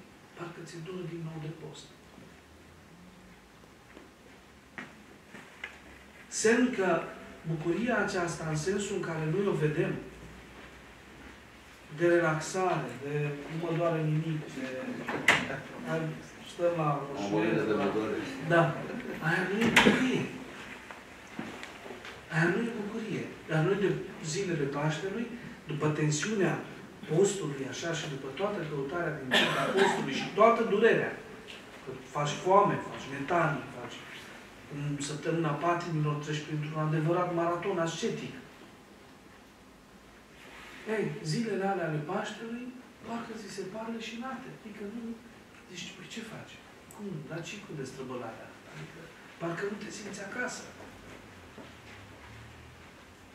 Nu vedeți că omului nu este firească bucuria aceasta de, a, a desfătării, în sensul animal, în sensul, oh, ce bine, gata, am, am, m-am bucurat. De aceea nu cred în, în prafuri, de aceea nu cred în miracolul alcoolului și nu cred nici în miracolul ierbii. Cu Ana. Da. Nu cred în lucrurile acestea. De ce? Pentru că ele nu, nu aduc o bucurie sufletească reală.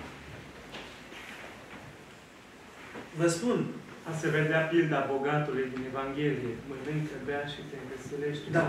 faceți, faceți un lucru, vedeți, încercați pe pielea dumneavoastră. Știți, unii dobândesc fericire mâncând ciocolată neagră. Alții da, obțin o stare de bine mănângând la sală. Trag de fiare și au o stare de bine. Și tot, tot în felul acesta fiecare își găsește câte un remediu, câte un surogat. Eu vă propun să faceți un lucru, o dată pe săptămână măcar. Și să vedeți ce aducător de bucurie este, pentru că Isus nu este mincinos. Nu există bucurie mai mare decât să spui viața ta ca preț, ca zălon, pentru viața unui autor.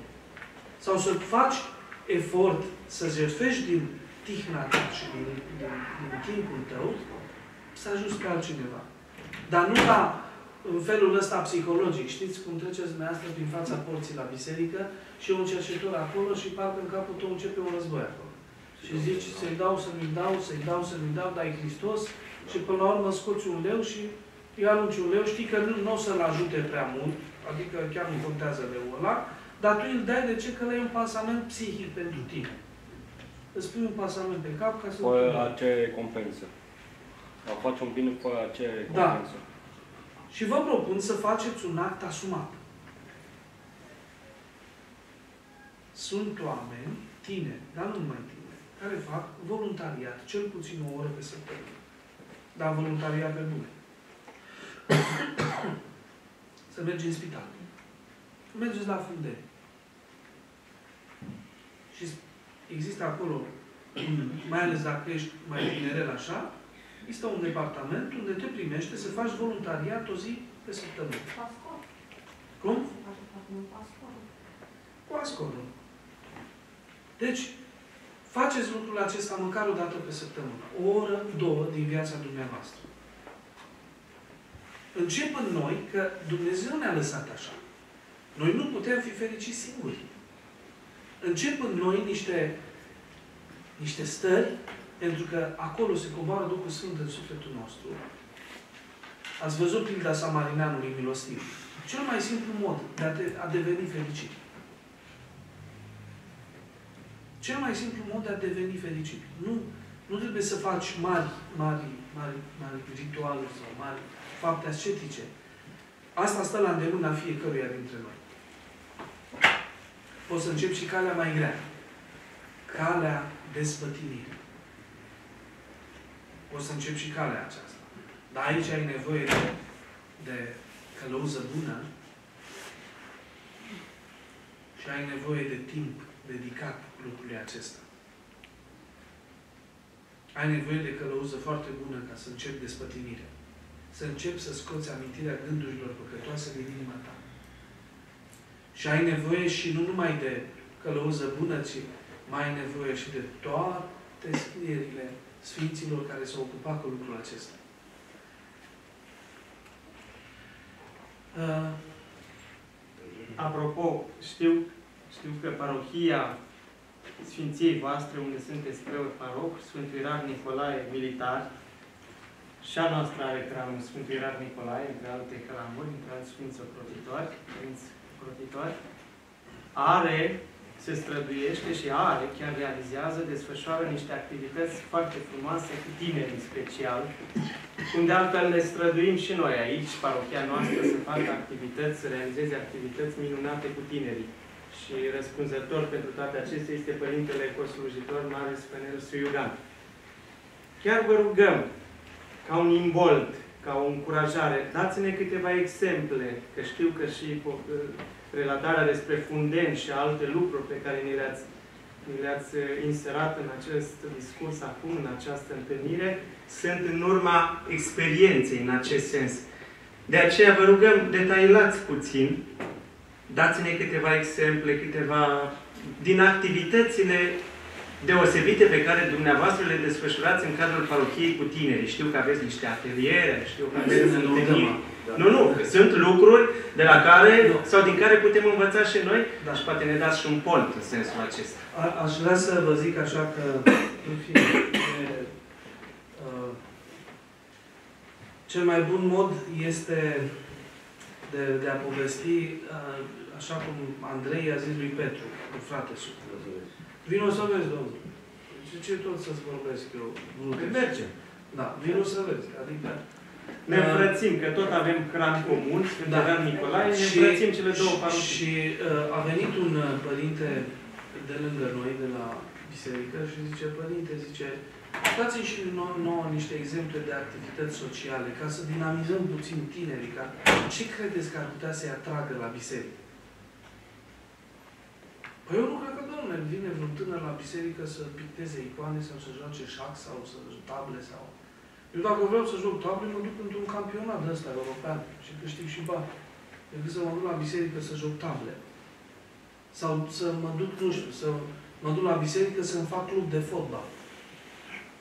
Și ce îmi trebuie club de fotbal la biserică? Mă duc la Dinamo și mă înscriu într-un club profesionist și fac fotbal. Pe bune fac. Nu dă sta de parohie așa pe curtea bisericii cu mingea printre tămie și colivă. Și atunci ce activități extraordinare facem noi la biserică? Una singură. Restul sunt amănunte. Liturghia. Sfânta Liturghie. Asta face. Și Și toate celelalte se adaugă. restul sunt amănunte. Rest, toate lucrurile sunt amănunte. Cel mai important lucru este liturghia. Dar nu oricum. La liturghie nu chemăm spectatori. Da. Și niciunul nu trebuie să fie spectator la Sfânta Liturghie. De ce? Pentru că uh, discuția e foarte pe bune. La noi în biserică vine Dumnezeu, la fiecare liturghie. Și noi avem o expresie așa, luată din popor, zice, Domnule, ești atât de drag încât îmi vine să te mănânc. La noi chiar se întâmplă treaba asta cu Bunul Dumnezeu, pentru că ne e atât de drag încât îl mâncăm. Și eu cred că de aici vine toată viața noastră și toată, toată puterea noastră. Că El a spus așa, cine nu mănâncă trupul meu și nu bea sângele meu, nu are viață în el. Și deseori vorbește despre morți care umblă. Zice, Doamne, dă voie să mă duc să îngrop pe tatăl meu. Și zice, nu, tu vină după mine, lasă morții să-și îngroape pe morții lor. Deci erau unii deasupra și alții în groapă. Erau unii deasupra gropii, pe malul gropii, morți și ăia, și unul în groapă. Dar toți erau morți. Foarte interesant că murim pe la 18 ani și ne îngroapă pe la 75. Și în perioada asta zombie. Adică nu se, nu se mișcă nimic în noi. Asta la... Că, știți, vă vorbeam la început despre Victor Frankl și el spune că omul este depresiv. Pentru că nu are activitate serioasă spirituală. Și zice, da, dar sunt și în biserică unii depresivi. Păi n-au activitate serioasă spirituală. Motivația lor bisericească nu este una reală. Și atunci, uh, Victor Nu Frankl- credeți că este multă superfi- superficialitate în zona aceasta, în sensul acesta? Sau că ne confruntăm cu multă superficialitate? Unde? Nu suntem constanți, nu suntem consecvenți. Când vorbim de activitate spirituală. Uh, Pe drăguții cine să învețe? Dacă noi trebuie să învățăm, preoții. Suntem 800 de preoți în București. Ăsta ar trebui să fie oraș. Există Ierusalimul cel ceresc. Vă dați seama? Unul pe pământ și unul în cer. Păi la 800 de preoți în București trebuia să ai Bucureștiul cel ceresc. Dar e și vina noastră, preoților. Și aici vă spun așa, resemnat. Avem program de gravide, noi preoții. Jumătate de oră miercurea seara, jumătate de oră vinere seara, o oră sâmbătă și vreo două duminică. Socotiți dumneavoastră dacă se face o zi de muncă. La un. Majoritatea. Majoritatea dintre noi, preoții, așa lucrăm. Și atunci, lumea e superficială. Nu, noi preoții suntem superficiali. Lumea e întotdeauna așa cum a fost ea.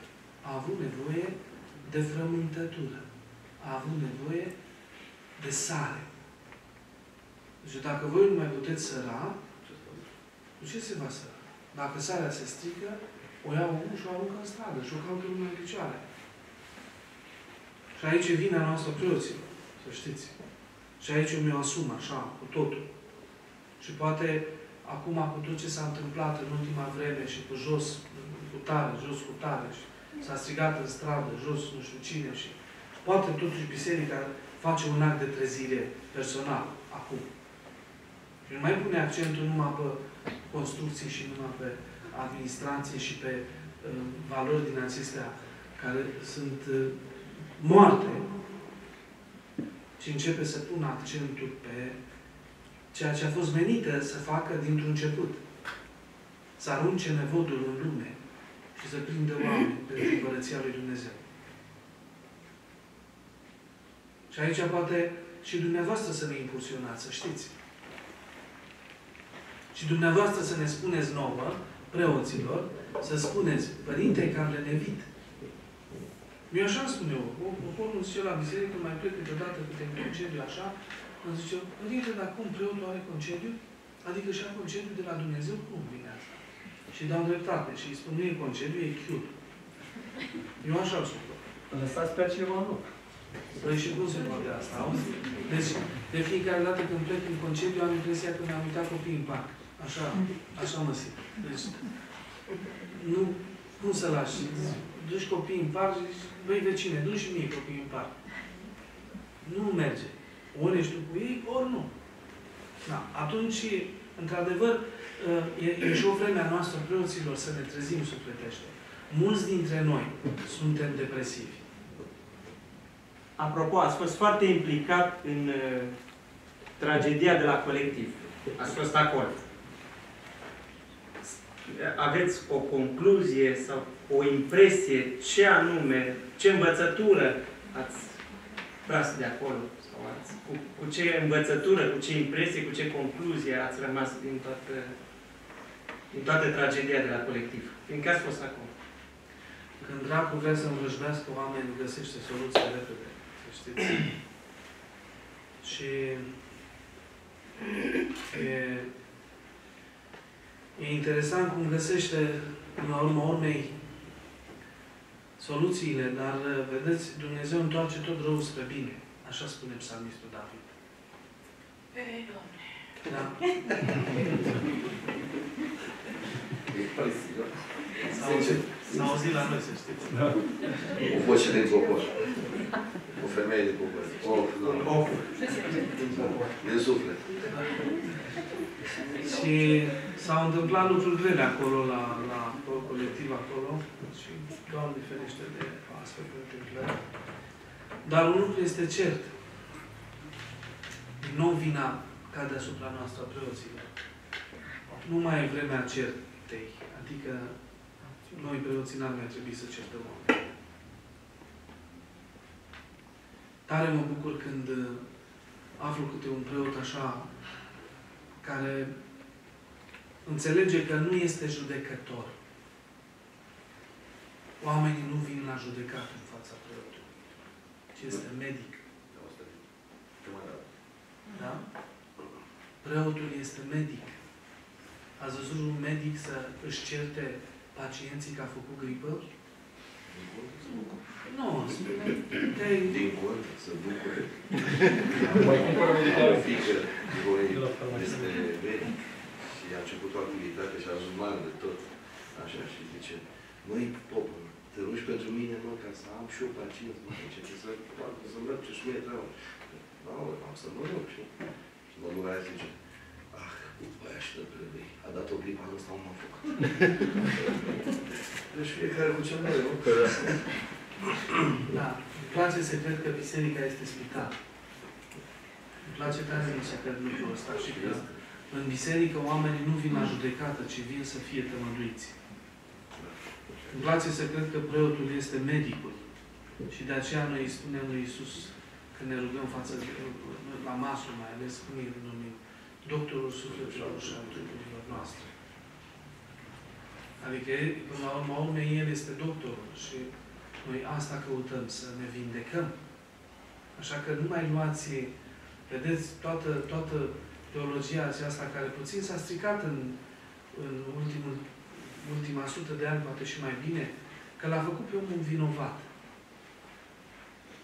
Și dacă omul e vinovat, înseamnă că trebuie să existe și pedepse pentru vina lui. Dar toată teologia părinților, dacă citești la Sfinți, omul nu este vinovat, omul nu este bolnav. Și omul bolnav nu trebuie judecat. Omul bolnav trebuie tăgăduit. Și medicul priceput zice, pune leacuri amare și leacuri dulci. Uneori mai dă drumul și la sânge, zice, așa era terminologia veche, zice, tocmai ca să-l vindece pe om.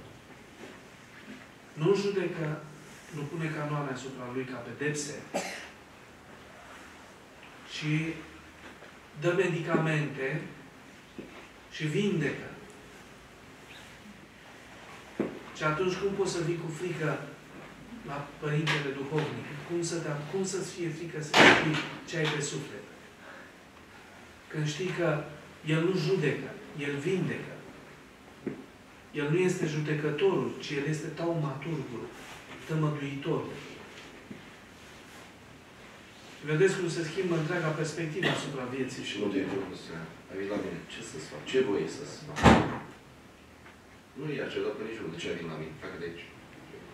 Ce voie să-ți fac? Asta era întrebarea. Și asta trebuie să fie întrebarea duhovnică pentru voi. Ai venit. Ce voie să-ți fac? Și spune-mă, punct.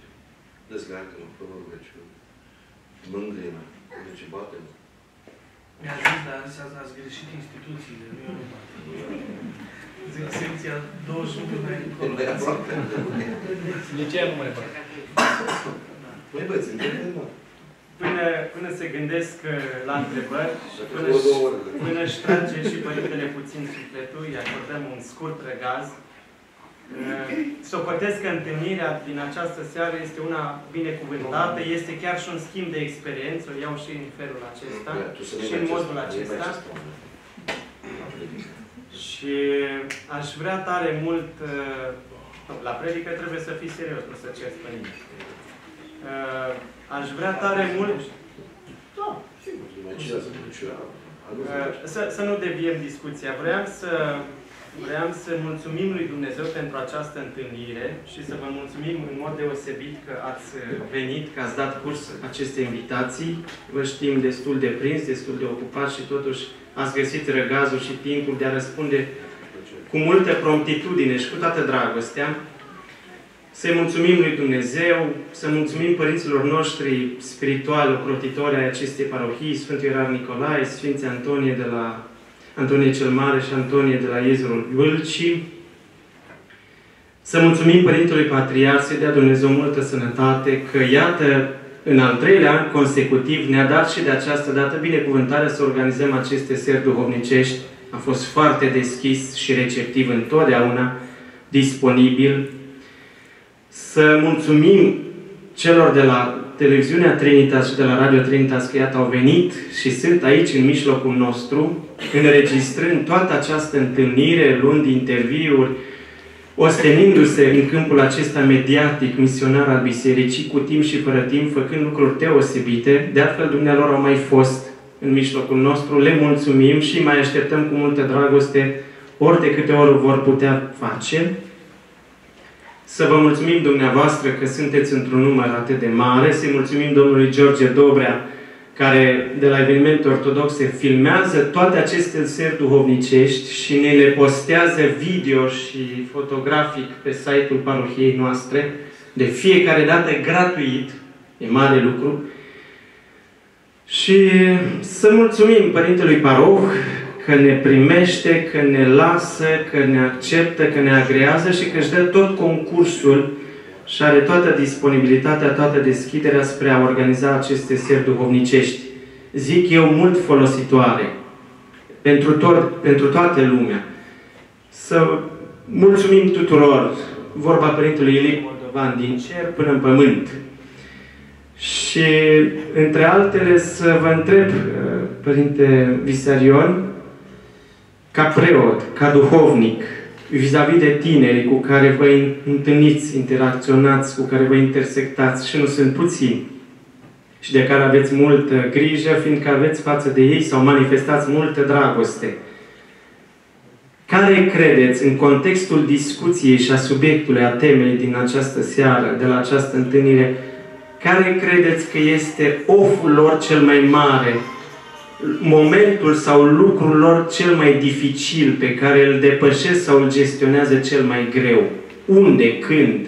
Când vin la spovedanie, când cum, când anume simțiți din pulsul pe care îl luați din discuțiile cu ei că ei realmente se potignesc cel mai mult sau cei mai mulți dintre ei? Găsirea unui sens. Asta e cel mai, cel mai greu lucru, nu numai pentru tineri, ci pentru oamenii mai mari, găsirea unui sens în viață. Pentru că, vedeți dumneavoastră, în principiu tinerii, uh, de la 26, 27 până în 30, 30 ceva de ani, își cam pun întrebările fundamentale ale vieții. Ce fac aici pe pământ? Ce înseamnă viața asta mea? Ce caut eu aici? Sunt pus aici doar să mă înmulțesc? Să fac o casă? Să... Ce... Da. Deci, de ce caut eu aici pe pământ? Ce se întâmplă cu oamenii pe care îi iubesc? Ce se întâmplă cu amintirile mele? Ce se întâmplă cu familia mea? Ce se va întâmpla cu copiii pe care îi voi naște? Sunt niște întrebări fundamentale pe care dacă nu vin cu sens, cu un răspuns, atunci apare un dezechilibru extraordinar. Pentru că, vedeți, uh, marțea seara, în fiecare săptămână, noi facem la biserică, uh, are mai multe denumiri întâlnirea de marțea seara, dar în principiu ea se numește dialoguri de seară sau cursuri de supraviețuire urbană sau, eu mai spus, unul zice, cum să nu te adărat cu București, știți? Că e atâta deznădejde și tristețe încât trebuie să găsești o soluție, un remediu. Și mai e și seara porților deschise, pentru că cineva care vrea să cunoască Ortodoxia este primit fără niciun, fără cântar, fără nicio cântărire, este primit la aceste întâlniri. Și am avut mare bucurie așa să vedem că mulți tineri practicanți de tot felul de terapii neconvenționale, yoga, uh, am întâlnit chiar adepții ai bisericii gnostice, pe care o credeam dispărută de 1500 de ani, dar am aflat că biserica gnostică și are sediu în București și care adepți și că tineri, mai ales politehniști, sunt uh, cei care fac parte din biserica gnostică. Tot felul de mișcări spirituale pe care uh, uh, tot felul de maestri și tot felul de persoane ezoterice vin să le predea în București, cu mare pompă, cu de definiții extraordinare. Poate la multe ați fost și dumneavoastră și nu v-ați dat seama la ce mergeți. Bioenergoterapie, radiestezie. Uh, n-ați fost. N-ați fost. Da, știu că n-ați fost. și de-aia v-am și spus. Da. Uh, tot felul de lucruri la care participați fără să vă dați seama. Mergeți la un cabinet undeva unde v-a zis cineva că vă citește aura. Sau că cineva, nu știu ce, vă echilibrează energiile în organism cu nu știu ce bricolice, uh, așa, și dumneavoastră habar n-aveți ce se întâmplă acolo, îl vedeți pe ăla îmbrăcat în alb într-un halat și că are față un laptop și vă pune niște fire pe dumneavoastră și aveți impresia că e medic. Nu, sunt impostori. Și dumneavoastră cădeți prada acestor impostori. Și nu numai dumneavoastră, sunt foarte mulți tineri care cad pradă acestor impostori. Și atunci, uh, Biserica, cred că, mai ales noi preoții, ar trebui să punem sens în viața oamenilor. Să le explicăm ce facem noi aici pe pământ. E o iluzie să crezi că aici pe pământ vei fi fericit. Este o iluzie. Îmi pare rău dacă e o veste proastă pentru dumneavoastră. Trebuia să Da. Este o iluzie, pentru că vreau să vă aduc la cunoștință că aici pe pământ suntem într-un exil. Aici nu e casa noastră. Tatăl nostru nu e aici. Așa că în exil trebuie să fii nebun să crezi că poți să îți construiești o viață minunată. Citiți uh, plânsurile lui Ovidiu pe malul mării, exilat de la Roma, unde și aducea aminte de Roma, și stătea și plângea pe malul mării, disperat că e frig, că marea îngheață și că geții sunt barbari și neciopliți. Nu ca romanii, ciopliți și educați. Și atunci, uh, vedeți dumneavoastră, noi suntem precum Ovidiu. Aici pe pământ. Nu căutați, să știți că au existat niște erezii în istoria umanității care au născut monștri. Jean-Jacques Rousseau scrie o carte, Socialismul utopic, și povestește în acea carte cum că ar fi posibil o societate perfectă. Și acea societate a fost societatea comunistă. Și dumneavoastră știți cât de perfectă a fost societatea comunistă. Trebuie să fii destul de nebun să crezi că aici pe pământ poți să construiești o viață fericită. Eu nu cred în Republica Ortodoxă România. Nu cred. Este aberant să militezi, să faci din România o Republică Ortodoxă. Este o erezie aproape. Nu se poate așa ceva. Țara noastră nu e nici pe pământ. Regele nostru nu e președintele României. E și președintele României, că nu vândem la anarhie, pe pământ. Dar nu e în ceruri. În ceruri președintele nu se schimbă la patru ani. Așa că dacă dumneavoastră veți înțelege că noi aici pe pământ suntem într-un exil, ne pregătim pentru ceva. Să ne întoarcem acasă. De unde a fugit Adam, bezmetic. Din brațele tatălui, de unde era bine, nici nevoie de haine n-avea, umbla dezbrăcat pe acolo. Da. N-avea nevoie, nicio nevoie n-avea. Ca bezmeticul a fugit, dar zice și pălămită și spin îți va rodi pământul și în sudoarea frunții tale îți vei mânca pâinea. Iar femeia săracă a dobândit durerile nașterii. Știați că dintre toate făpturile pământului, doar femeia are dureri la naștere? Niciun animal nu naște cu durere. Doar femeia are dureri la naștere. E un paradox, dar explicabil pentru cei care mai citesc puțin Scriptura și află puțin așa din, din ce s-a întâmplat, află ce, ce căutăm noi aici pe pământ. Nu mai femeie să nu fie. Nu știu. Eu am impresia că acolo în altar aveți o doamnă chiar importantă. Da, dar am născut fără durere. Da. Deci am născut fără de durere. Da, asta despre asta. Măi, nici o întrebare. Radu. Ce, sunteți tânăr? Nu, profesor. Vreau să Vreau să mulțumesc. Radu, ce ți-am spus soție? Pe vii sau pe întrebări? N-am idei. Nu numai ideea, nu. Când vin la mine ați povestit, ai o groază de idei. Hai, ia mai zi De ce, ce ar trebui să faceți sau pentru că în momentul de față Seica s-a constituit foarte mult pe clădire. De ce și preoții nu ies în societate? Pentru că în momentul de față e una să interacționezi cu tinerii, să-i atragi pentru a, spre biserică. Pentru că e mai greu ca un tânăr să-ți vină în biserică pentru a-l aduce pe acel drum. De ce preoții nu fac altceva decât stau în, stau în această clădire? La un moment dat au un program de extrem de mic. Puțin, nu mic. Redus. Program redus. Foarte redus. Cel puțin, Da. eu am văzut, eu sunt creștin ortodox, dar la catolici e program puțin mai mare. Adică se mai pliază și pe Faceți programul preotului dumneavoastră de parohie. Vă rog să-i faceți. Îmi pare rău, părinte. Nu știu pe cine ține aici. Nu, eu l-am deja, nu, nu fac probleme. Eu nu mai am loc să mai pun câte am de făcut. Foarte bine. Uitați-vă, programul e afișat, este... Faceți-i Ai văzut programul programul nostru aici? părintelui L-ai dumneavoastră văzut? din parohie. Ai văzut? Da. Și te iau lângă mine o zi întreagă și mergi cu mine de dimineață până seara și stai lângă mine de dimineață până seara. Tante Dorina uite aici, care a zis, of, Doamne, cum e? Și să vezi uh, la 6 până la 12 noapte spovedanii și poate și mai mult. Poate și mai mult. Și mai mult de atât. Și weekend. Lunea, seara duhovnicească, marțea, maslu, miercurea cateheză cu nașii de botej, așa, vinerea, spovedanie, sâmbătă și duminica, toată Slujbă săptămâna. vinerea. Și mers în teren și nu știu ce, plus câte... Dar aici la noi, nu zic de alte, Da. dar sunt și biserici cu lacăte opus.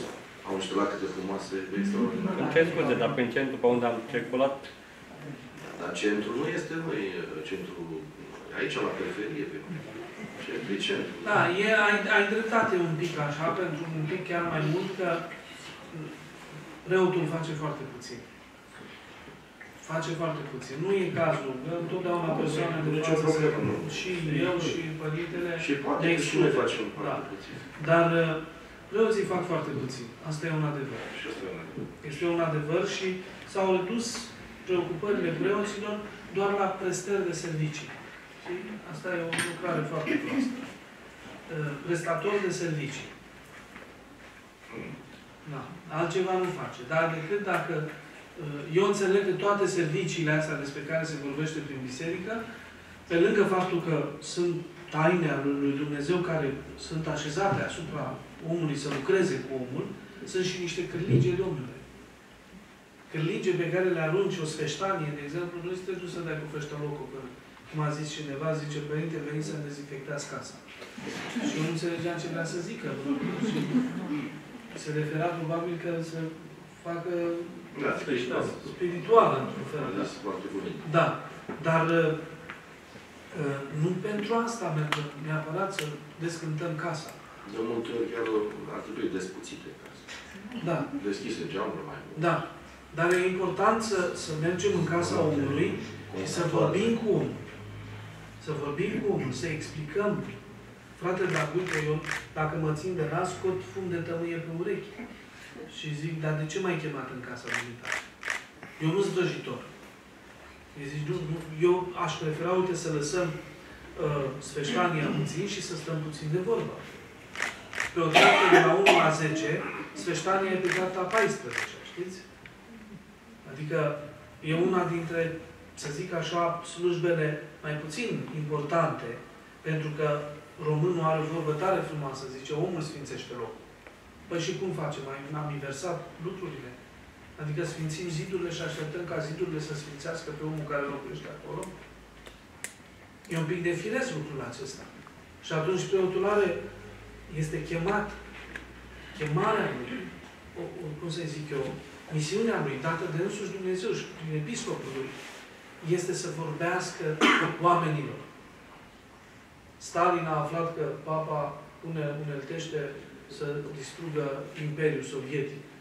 Și Stalin spune, ce, domnule, că se mă teme de papă? Zice, ce are, câte divizii de tancuri are? Ce flotă de avioane sau de submarine are papa? Și consilierul lui zice, atenție, are cea mai periculoasă armă. Care-i, domnule, cea mai periculoasă armă? Cuvântul. Deci dacă preotul ar ști că nu deține flotă, n-are... Eu chiar nu, la un moment dat zic, ți-e frică de preot? Ar trebui să-ți fie pentru că e cel mai puternic om. Are o armă teribilă. Și întotdeauna cuvântul a fost o armă teribilă. Și De ce? Pentru că la început a fost cuvântul și cuvântul era Dumnezeu și Dumnezeu era cuvântul. tot ce s-a întâmplat în lumea asta s-a, s-a întâmplat datorită cuvintelor. Toate, toată istoria umanității a început cu cuvântul. Toate imperiile au fost rodul cuvântului. Tot ce s-a întâmplat în istoria umanității a fost cuvântul. Dar sunt și oameni cărora ar trebui să li se interzică să vorbească. Da? Tot din, dintr-un, dintr-un Să fie băiat bun, dar să pleacă din... Zice, pe Pleșul, pe domnul Pleșul l-am auzit, zice, domnule, ar trebui să fie o lege de prezervare a cuvântului. Adică să interzici unuia să... Cuvântul e ca o mitralieră. Dacă ești cu el în mijlocul Ucis. ucizi oameni. Am o speranță. Da? E așa de Domnul doctor. că este înregistrat, vreau să accentuez încă o dată.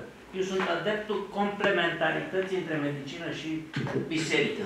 Și atunci am o întrebare legată de pierd pe cineva drag și devii depresiv, nu? Cum intră sau cine intră în tine sau nu e normală, nu e firească, trebuie, ce trebuie făcută cu această tristețe? Și eu aș mai sugera o treabă, ca dumneavoastră să nu folosiți termen de depresie și așa mai departe. Deznădejde. Aveți dreptate. Deznădejde. Asta mi se pare mie Da. ideală pentru limbajul. Depresia dumneavoastră... Dumne- este- exact, E, exact. Da. În acest caz sunt și eu, de abia a murit mama mea și, de exemplu, dacă mă duc la un părinte să-i cer uh, să mă ajute, să mă sprijine, uh, când mama mea a fost bolnavă, a spus de ce nu mă duc la biserica respectivă, că nu prea am- m-a băgat în seamă, deși eram într-o situație janică. Asta de niște Mă refer ani. De, de, de întâmplarea Mai mult m-au ajutat Da. uh, prietenii care au fost în Ascor, au fost Ascor decât Cred. un preot. Și îmi pare rău să spun asta. cred lucrul acesta. Și uh, știți, de, de ce vă spuneam de, de sens? Marea, marea lucrare a preotului este să pună sens în om și să-l facă pe om să înțeleagă că sfârșitul e aici. Totul ține de sens. Dacă tu ai sens, atunci pricepi. Da, dar știți de ce azi?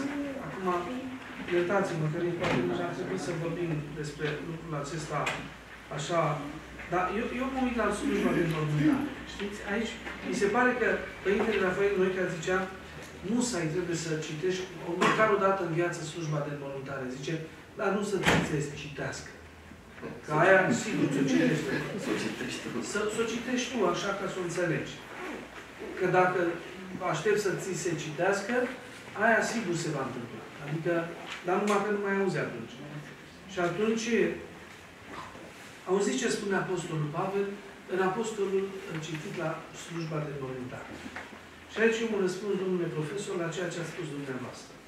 Cine a intrat în om când îl pierde pe cel drag? A intrat un demon în om de îl face să fie depresiv, deznădăjduit? Sau este o urmare firească a acestei întâmplări?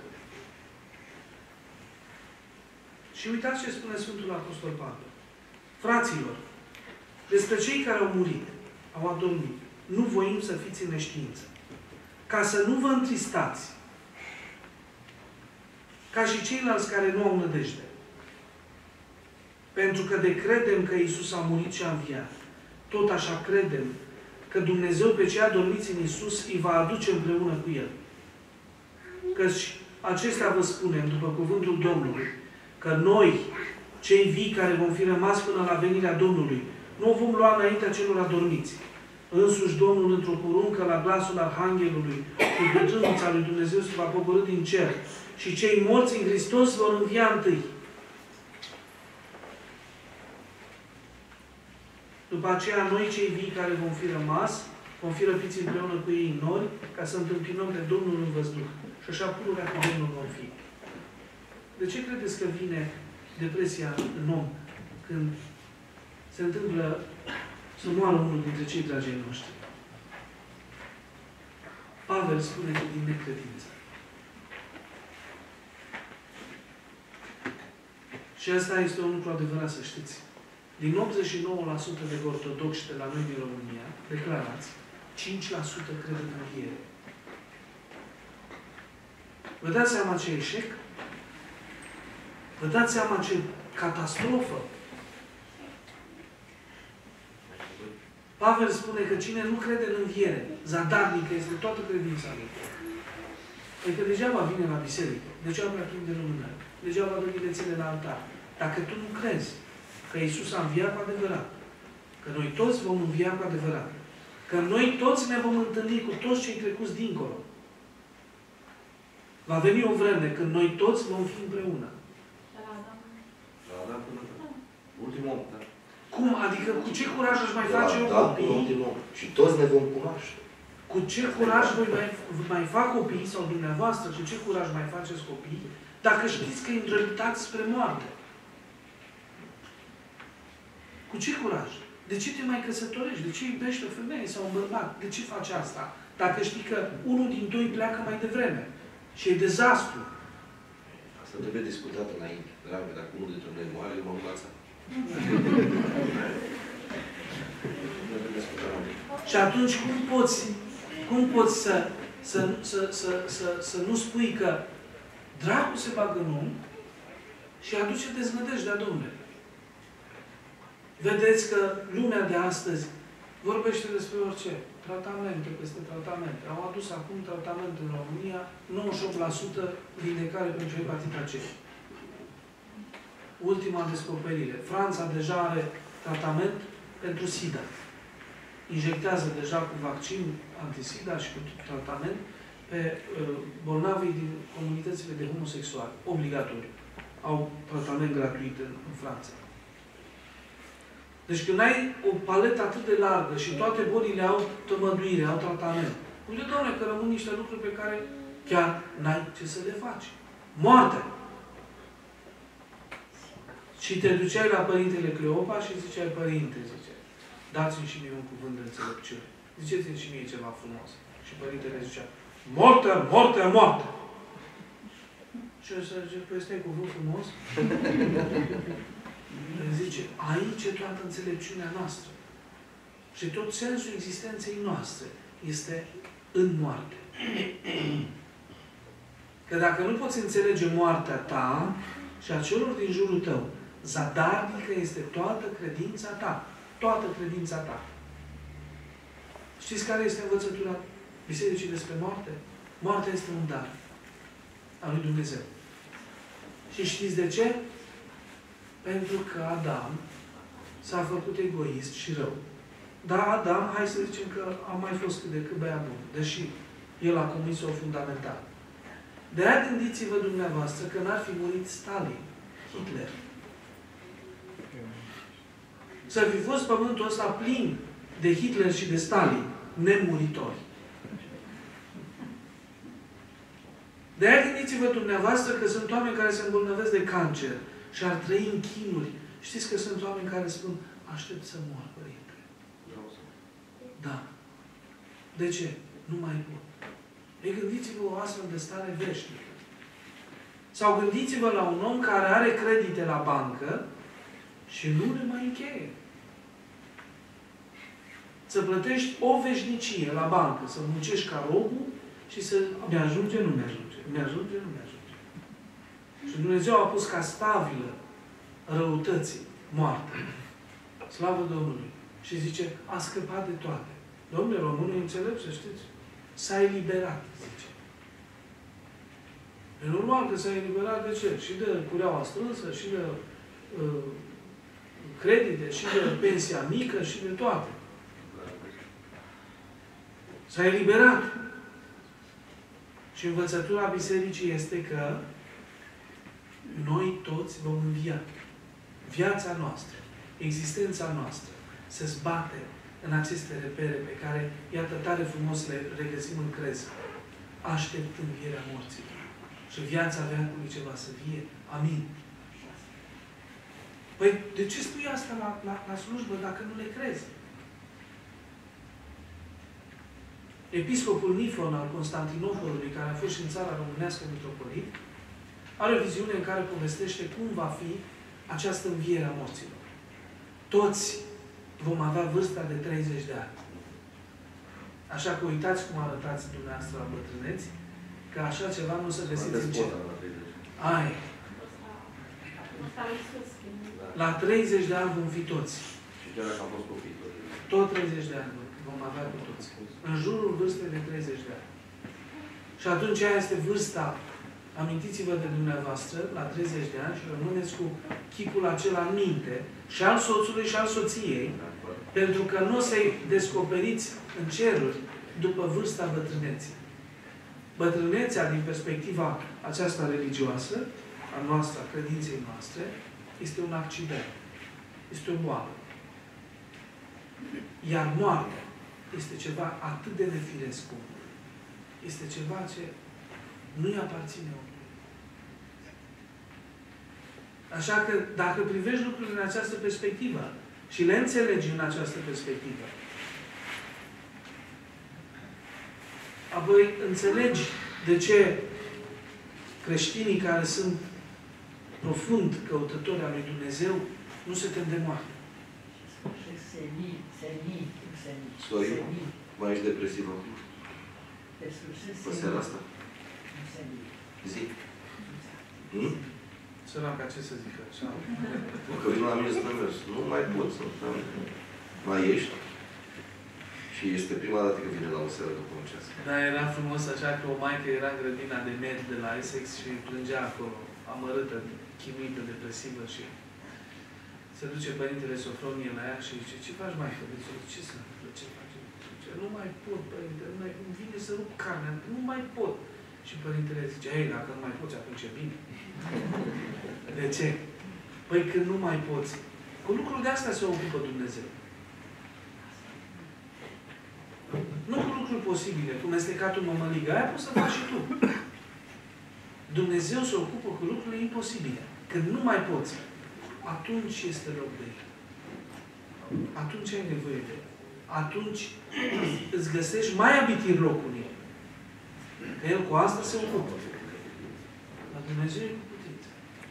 Hai că vorbim în data Peste două săptămâni, luni 22 februarie, tot orele 18 și tot aici vom avea o altă seară duhovnicească. Pentru bătrâni. Se va vorbi despre rugul aprins. Și va vorbi despre rugul aprins, ultimul membru în viața rugului aprins. Părintele Nicolae Bordașiu, de la Biserica Sfântul Silvestru din București, care are 91 de ani și jumătate, și scriitorul Adrian Georgescu, care se ocupă de a studia și scrie despre rugul aprins. Și tema este interesantă. Grupul aprins între istorie, prezență și actualitate. Deci peste două săptămâni aici, la o altă seară duhovnicească. Vă așteptăm și atunci. Merge la prețul Nicod din la Creasna și Părintele Nicole Mare și așa, și de 90 și Nicole. Și nu mai pot.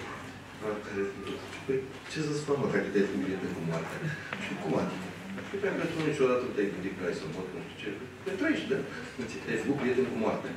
Deci cine se face prieten cu moartea, nu moare. Da?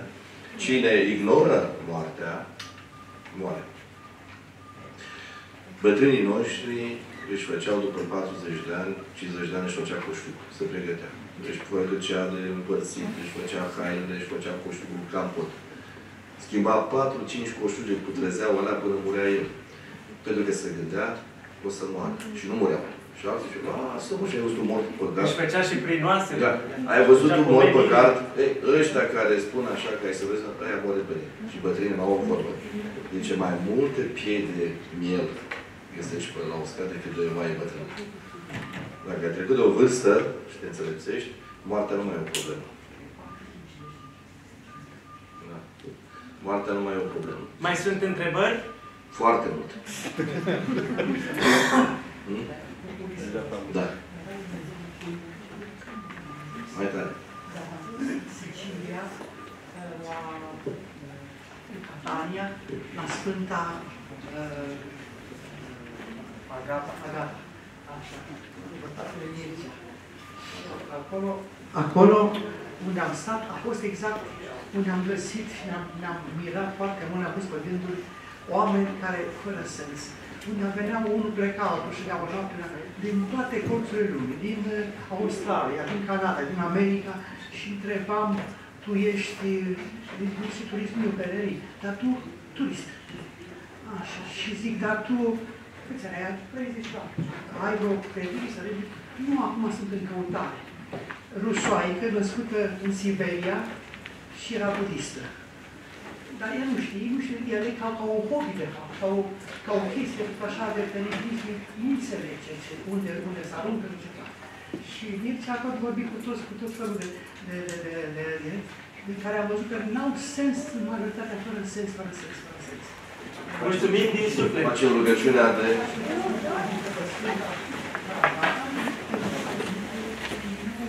În numele Ta, și al Fiului, și al Sfântului Duh.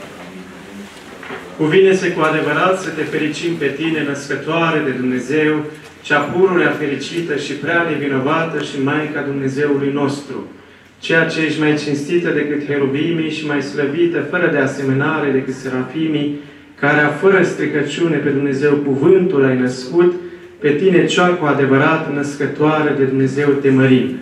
Slavă Tatălui și Fiului și Sfântului Duh și acum și pururea și în vecii vecilor. Amin. Doamne miluiește, Doamne miluiește, Doamne miluiește, într numele Domnului Preacucernice, Părinte Paroh, binecuvântați. Pentru rugăciunile Sfinților Părinților noștri, Doamne Iisuse Hristos, Dumnezeu nostru, miluiește și ne mântuiește pe noi. Amin. Mulțumim din suflet, seară binecuvântată!